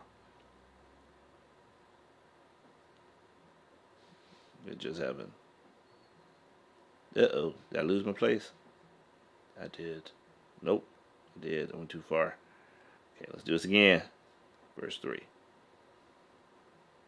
How, how here uh, would be the question to those who believe it is a commandment to blow the shofar on the full moon. Where do we find a commandment to blow the shofar on a full moon in the Torah? It is nowhere to be found. See, this is the traditions of certain people called Jews, and they have this tradition. And we blindly follow them because they claim to be something that they may not be. They're not. The only place we can command to, uh, where we are commanded to blow the shofar trumpet as it relates to the moon is Yom Teruah, Day of Trumpets, on the new moon, just like the first line of verse 3 states, starts off. But nowhere do we find a commandment in the Torah of Yah to blow the shofar on the full moon. Some might refer to uh, Bamidbar, Numbers 10.10, but the only but that only refers to the sliver uh, silver trumpets. In Hebrew, there is a difference between the shofar trumpet trumpets and the silver cash cash off trumpets. Excuse me. Khat zut zara. There is only one instance in which we are commanded to blow the shofar, and that is for Yom Teruah, the Day of Trumpets. So, this is the problem. And Bamidbar 1010 does not help. Focus on what we are saying here because it is very important. The author of Psalms, Tehillim, is telling us it is the, Teru, uh, the um, Torah of Yah to blow the shofar trumpet on a full moon, on a full moon. And it is and it is really not part of the Torah of Yah, then this scripture is sinning by adding to the Debar the word of Yahuwah. We are commanded not to add to the Torah of Yahuwah from the instructions given at Sinai. And the author of Tehillim comes much later than Sinai. Let's read it. Debar, Devarim 4 2. Do not add to the word, Debar, which I command you, and do not take away from it, so as to guard the commands of Yahuwah your Elohim, which I am commanding you. If the author of Tehillim Psalms is saying that it is the uh, Torah of Yahuwah, says that we are to blow the trumpets on a full moon, then its verse is breaking Devarim 4 2 and Devarim 13 and the author becomes a false prophet. See, we got to be careful what we say about scripture. We don't know how far this domino, you hit one and it has this whole domino effect that you don't realize what you're saying. I hear a lot of people say that, oh, be careful what you're saying because that makes this, this, and that. And you're going to end up here. Do you want to end up there? You may not want to. And how come nobody ever addresses this? The average Karaite responds to this verse in trying to keep his word to mean full moon. Has the author of Psalms become a false prophet? That's a very charlie position since our Mashiach and other others quote from Tehillims. The fact of the matter is that Keka cannot mean full moon. It must mean covered moon which means that the new moon is defined by the moon being covered in darkness, also known as conjunction. Either the author of Tehillim um, 80, 81 is a false prophet, or he is telling us that the new moon is a conjunction there those who those are are two choices. I'm, I'm going to disappear for a moment.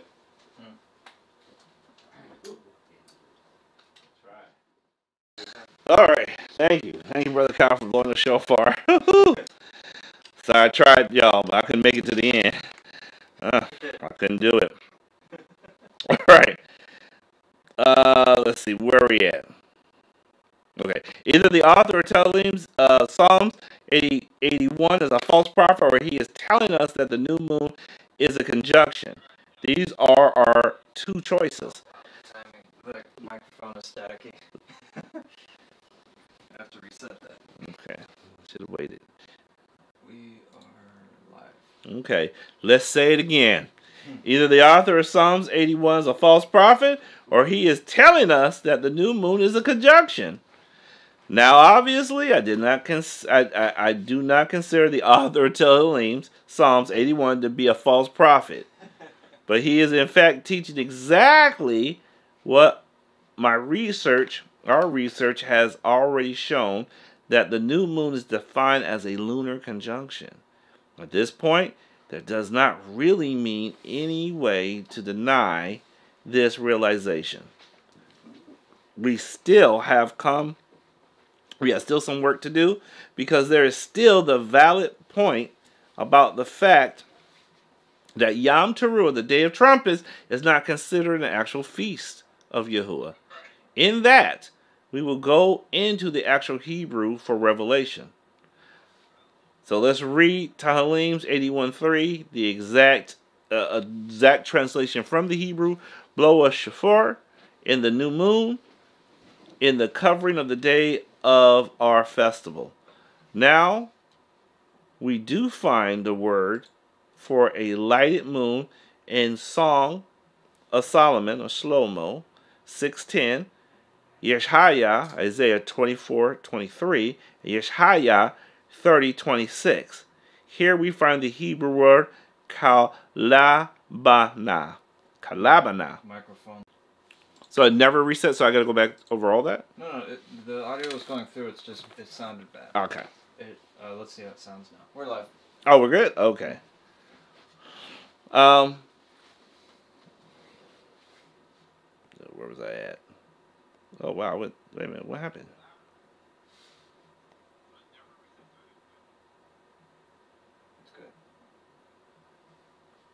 I'm trying to find where I was at. My fingers did. Oh, there we are. Yeah. The very first three letters of this word literally means white, which is labana or laban. Labana or Laban, meaning white or whiteness. You can even see the meaning in the country called Lebanon, called such because of the white snowy hilltops and mountaintops. Something else I found out too. I didn't know that.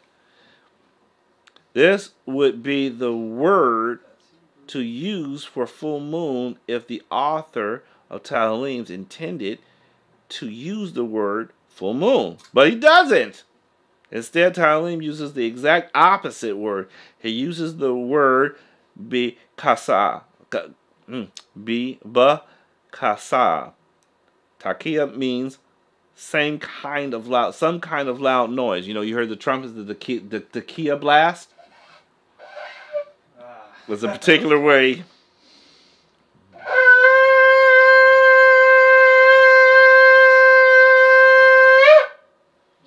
That's a tekiah blast. So, B. Chadash literally means on the month or interchangeably the new moon. We got shofar, means trumpet. So, so far we have blow at or on the new moon, the shofar. So, far. You caught that. ah, very good.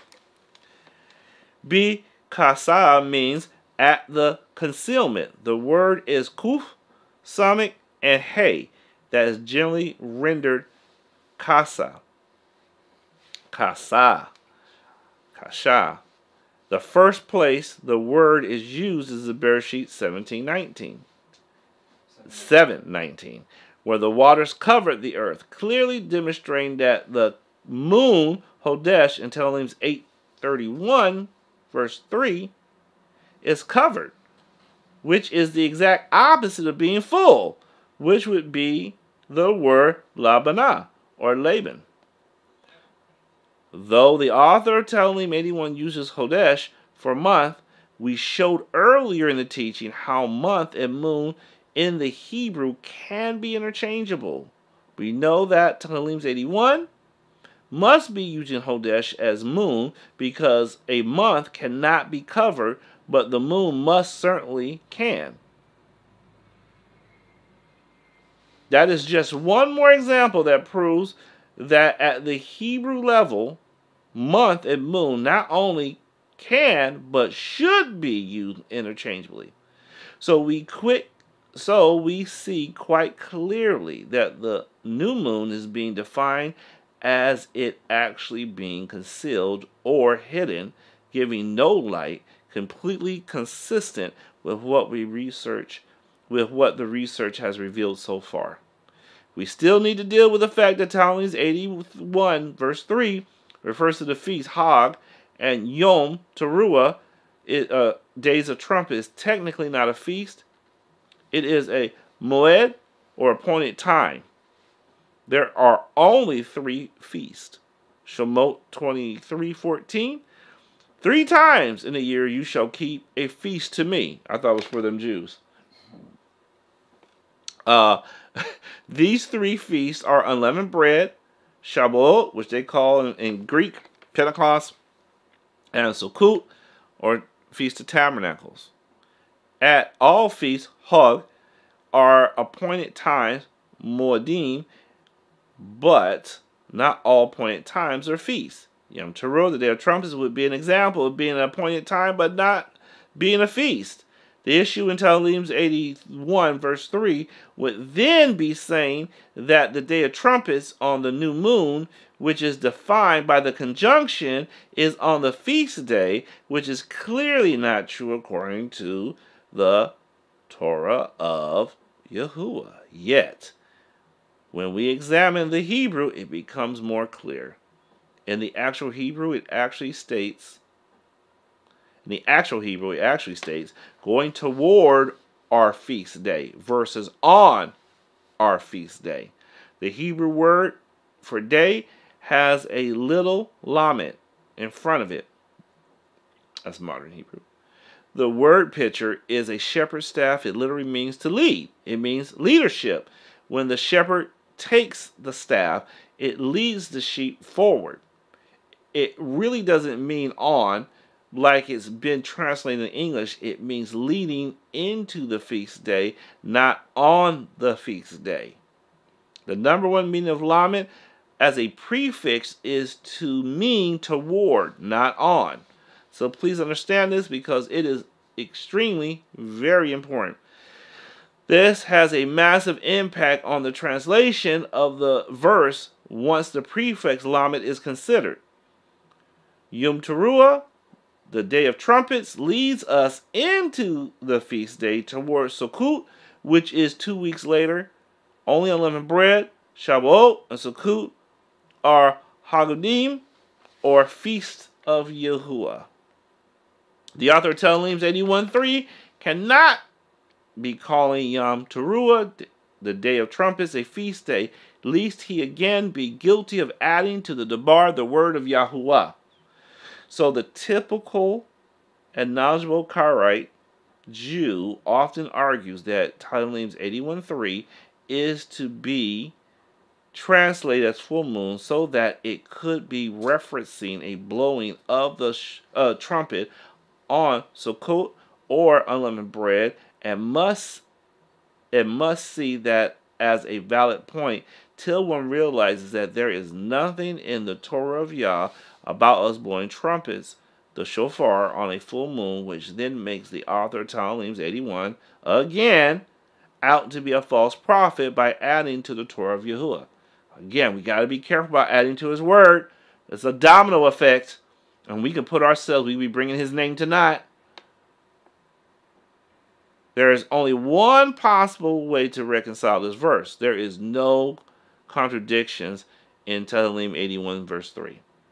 The author of Tehillim 81 is not a false prophet. It is clearly teaching that the new moon or the first day of the month begins in darkness and that it is directly stating that Yom Teruah, the day of trumpets, leads us into the feast of Sukkot.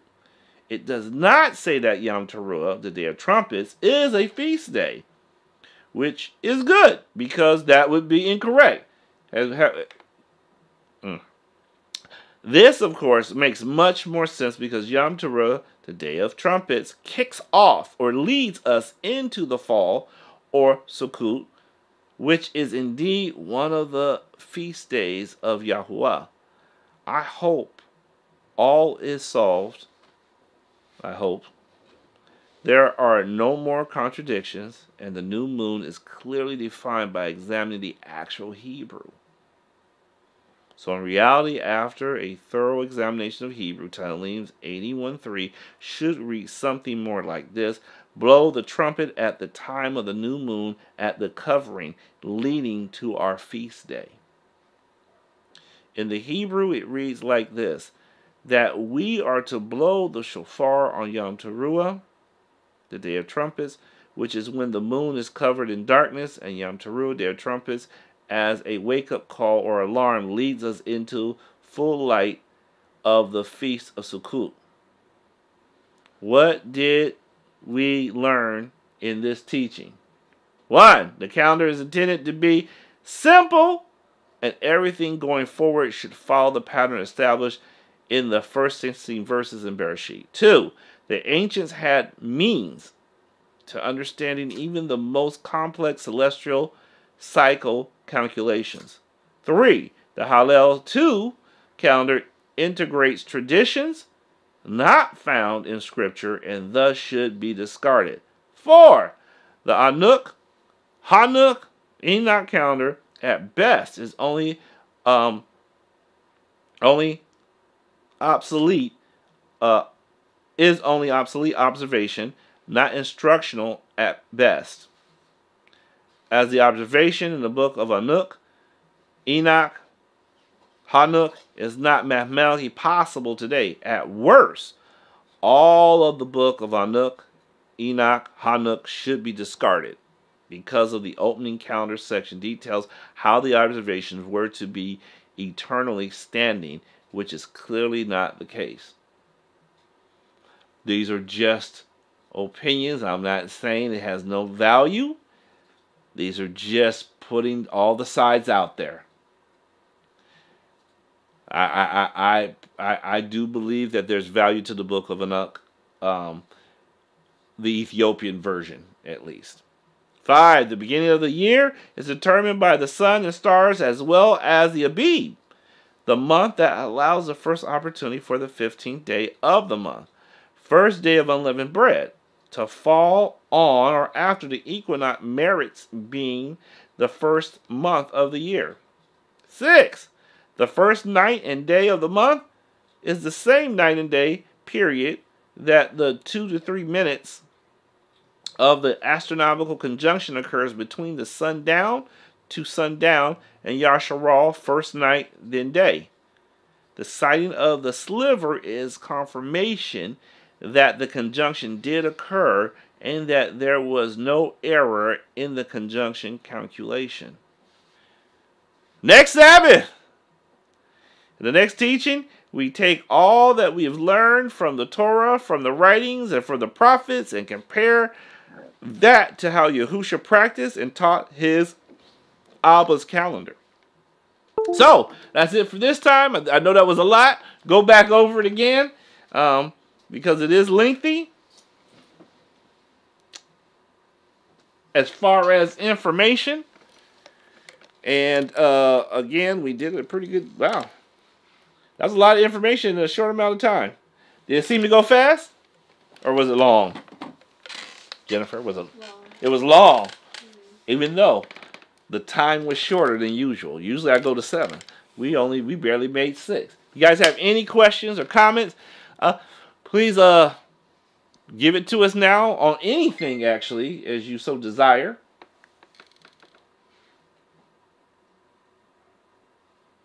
Um, so we'll wait a little bit. Remember the procedure. Uh, just write question or put a question mark. We'll know to wait. If we don't see that. Now, I, I am going to express a lot of this, um, the phases of the moon and things of this nature. I'm learning along with you um, as well. These these things are newer to me. I mean, I know a little bit, but not into this depth. So um, if you ask me more questions about this, I may have to re come back to you and research it a little bit more to get it fully down because, as I stated, I think in the first teaching, two teachings ago, um, I was one of those people who was being lazy and uh, was relying on uh, Nehemiah Gordon um, as the world did, the world of Torah believers. And we were, uh, and then when he dropped the mantle or let it go, then we were like, okay. And I saw this discombobulation within the the Torah observing community, no matter where what they call themselves. So, and just to help us to lead right up into the feast days that are coming up, Pesach being the first one, and then we'll learn some more specifically about that. Um, any questions?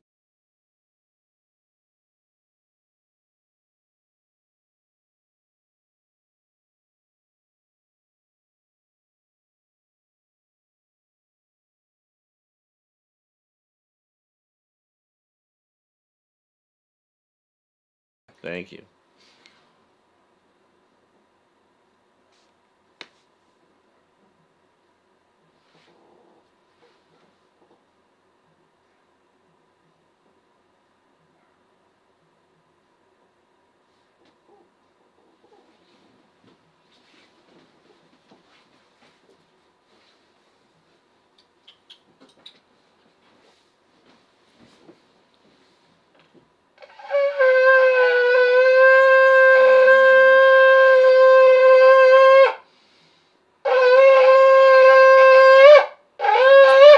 Oh, I need practice. These are challenging.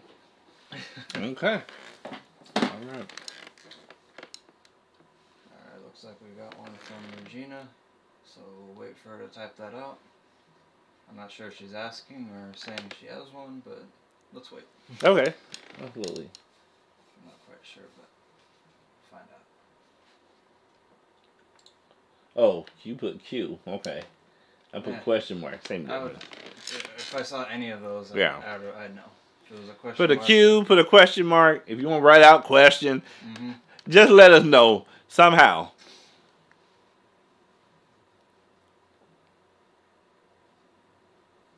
Oh, I think she, yeah, I think she's asking, can we put in prayer requests? Yes, absolutely. Put in prayer requests, please.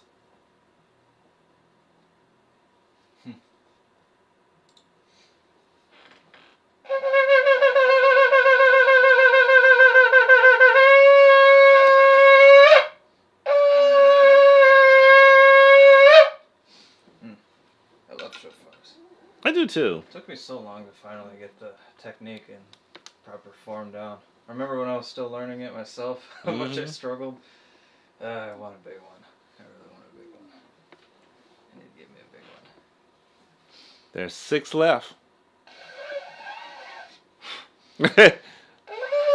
it sounded like I was, you know, like six left.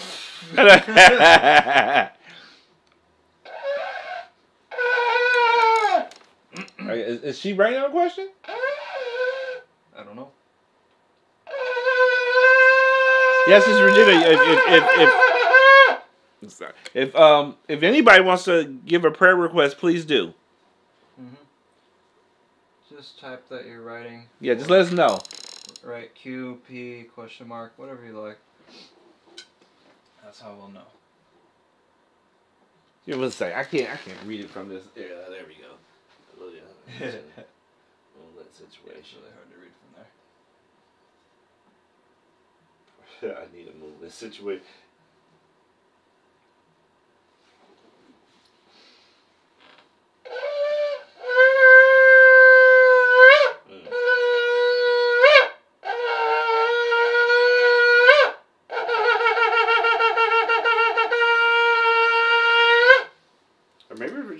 Asking them if they have prayer requests. I was thinking that too. Yeah, that's what I'm thinking. Okay, well, um, we're gonna go ahead and close because I don't see anything up. Should should we? Yeah.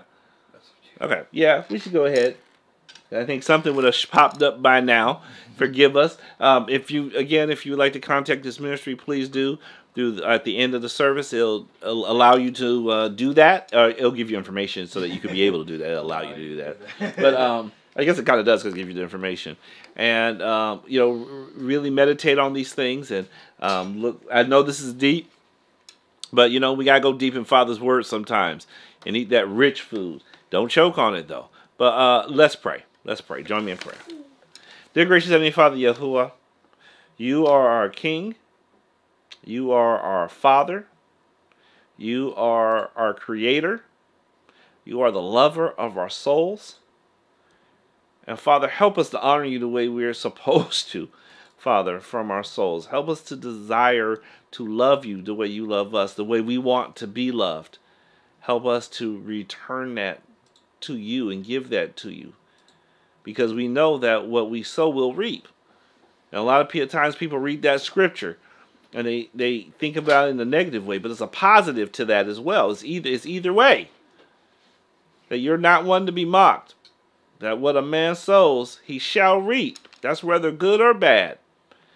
So, Father, help us to, to learn to put out selflessness, to put out love, to put out compassion, to put out comfort, to be a, a listening ear instead of always wanting to talk. That we'll do that for people, Father, so that we can show your love to those all around us. And they may be allured by that. They may say, you know what? What do you do? And how come you're the way you are? Because we're supposed to be going out teaching them, the nations, what we have been taught. That's a, that's the mandate you've given us, Father. Help us to fulfill that. We need your help. Help us not to be distracted by our own flesh, by Hasatan, joining up with our flesh and pushing us forward. Father, help us really grab hold of this information that, is, that you're bringing forth for us to learn your ways. We know this is in preparation for when we reign with Yahusha, that we'll know this and we'll be able to go out in the territories that you've given us to uh, reign over in behalf of Yahusha and to teach those um, the correct way of all things, of all your instructions, of all your Torah. So thank you for giving us a, a head start, Father. Um, it, it's like it's like when those guys uh, join the military in high school. I forget what it's called, and then they can join the military and already be a higher rank. I see that's what you're doing with us, Father. So thank you. Father, I pray over the Mishpachah um, deliverance. I rebuke the spirit of rebellion. And I call for your ruach of, of humility to be strong with us, Father, to submit ourselves to you in your ways. And to receive rich blessings in return, as you have said and spoken to us about these things. That when we obey, we are a Barudakah people. We're blessed. And in that being blessed, we're blessed to be a blessing to all those around us. Hallelujah. Father, uh, right now, I, I want to lift up our dear brother Amal and the situation that he's in. Father, thank you for using him in such an amazing way. And we ask that you keep him safe um, as, as these things uh, roll out. Thank you for planting him where he is to be a light, a light of righteousness for you, Father. And in that, have him stand firm. Let no weapon formed against them prosper. Matter of fact, we declare right now that it cannot. It cannot prosper against him as he does your will, Father, in right ruling and righteousness. Hallelujah. If anything, Father, lift him up and have him be highly esteemed in, in, in for your glory, for you to be esteemed in all things. Father, if there's any worry, we ask that that that, that you give comfort to all those who may be worrying about that. And to and to know that you're you're there, Father. That nothing can happen when your hand is upon your people. Hallelujah. We look forward to the testimony that will come out of that. Father, I want to pray over all the all the families, all the marriages, all the children, that they're not distracted, that they won't look to the left or to the right, that they'll be strengthened and renewed. As we talked about renewing of the moon, Father, they're renewed and refreshed in your Ruach. Father, that this, this from this moment on, entering into the next month that we're following, uh, getting ready to be led into, that they'll be stronger than they were this last month. That there'll be a maturing, a growing in you, in your word, and in love for you and for your people and for the world at large. Again, Father, thank you for allowing us to be in your college, in your school, that you chose us to be here, and what an honor and privilege it is. So, Father, let us not miss anything this coming week that you've uh, given us within every day to do all that we need to do, all that you've called us to do, and provide all our needs as you already have before the foundation of the earth. It was already supplied to us. In Yahusha's mighty name, we declare and decree all these things. Hallelujah. So let it be, so it shall be. Hallelujah. All right. Until next Sabbath. Shalom. Shalom.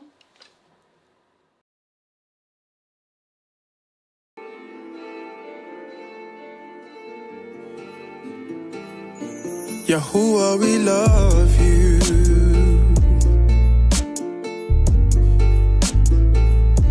Yahuah, we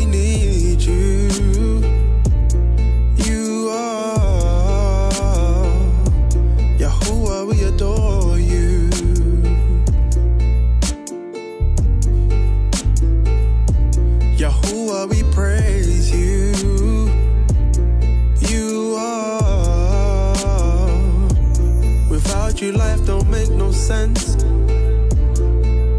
No, no. Without you, we ain't.